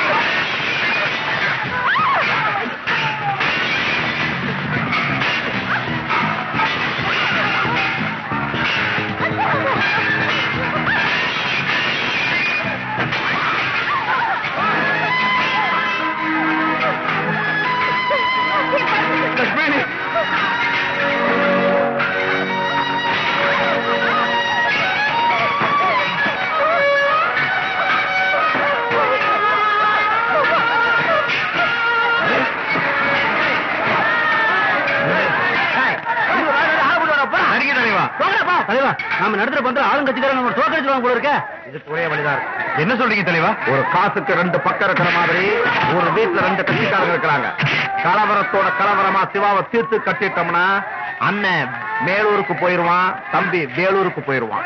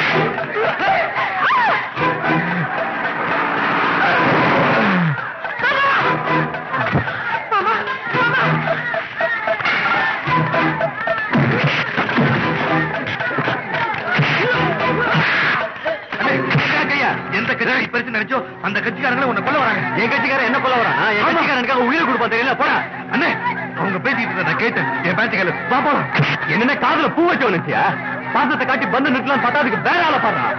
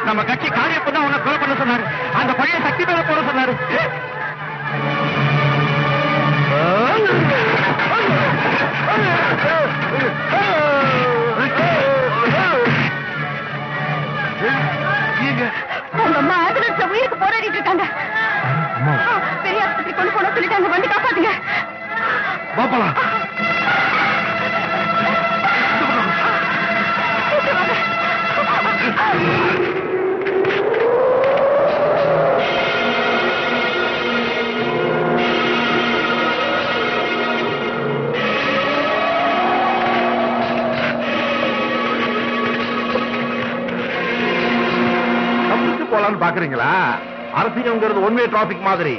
உள்ள வர முடியுமே தவிர வெளியே போக முடியாது. அண்ணனைத்தான் கொல்லணும்னு நினைச்சோம். தம்பிய கூட தான் போகணும்னு விதி இருக்கும் போது எங்களால என்ன செய்ய முடியும்? ஒரு தலைவன் போனா இன்னொரு தலைவன் வரும். ஒரு பந்து போனா இன்னொரு பந்து வரும். ஆனா ஒரு தாய் போனா இன்னொரு தாய் கிடைக்க மாட்டாடா. மரியாதையா சொல்றேன். எங்களை விட்டுருங்க. சண்டை வேணாங்க. தயவு செய்து விட்டுருங்க. டேய் விட்டா அண்ணன் தம்பி ரெண்டு பேரும் சேர்ந்து திருத்திடுவாங்க போல் இருக்கு. ரெண்டு பேருக்கு சமாளம் கட்டுக்கடா சக்தி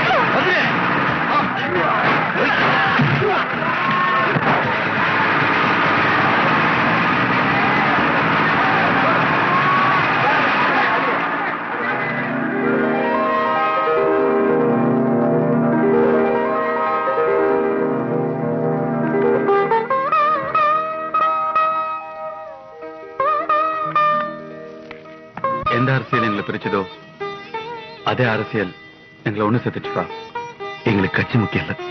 குடும்பம் தான் முக்கியம்னு புரிஞ்சுக்கிட்டோம்பா எங்களை மன்னிச்சிருங்கப்பா. டேய் பட்டாசுல இருந்தப்போ நான் நினைச்ச அரசியல் வேற. இப்ப நடக்கிற அரசியல் வேற. வெள்ளக்காரன் நம்ம நாட்டுக்கு வியாபாரியா வந்து அரசியல்வாதியா மாறினா ஆனா இப்ப அரசியல் பண்றவங்க வியாபாரியா மாறிட்டு இருக்காங்க நம்ம நாட்டுல அஞ்சு வருஷத்துக்கு ஒரு வாட்டி எலெக்ஷன் நடக்குது. கொடிக்கும் போஸ்டருக்கும் காருக்கும் கட்டவுட்டுக்கும் கோடிக்கணக்கில் பணத்தை செலவு பண்றாங்க. இந்தியா ஏழை நாடு ஆனதே எலெக்ஷன் நடத்திதான். பொதுச்சேவை பண்றதுக்கு அரசியல்ங்கிற போர்வை தேவையில்லை. பெத்த தாயை மறந்துட்டு பொது கொடுத்த தாய்க்குள்ள வாழ்கான்னு சொல்லாதீங்க. செத்தவனுக்கு செலவைக்கணும்னு நினைக்கிறத விட சொந்த வீட்டுல உல வைக்கணும்னு நினைங்க. வீடு நல்லா இருந்தா நாடு தானா நல்லா இருக்கும். போய் அம்மா பாருங்க.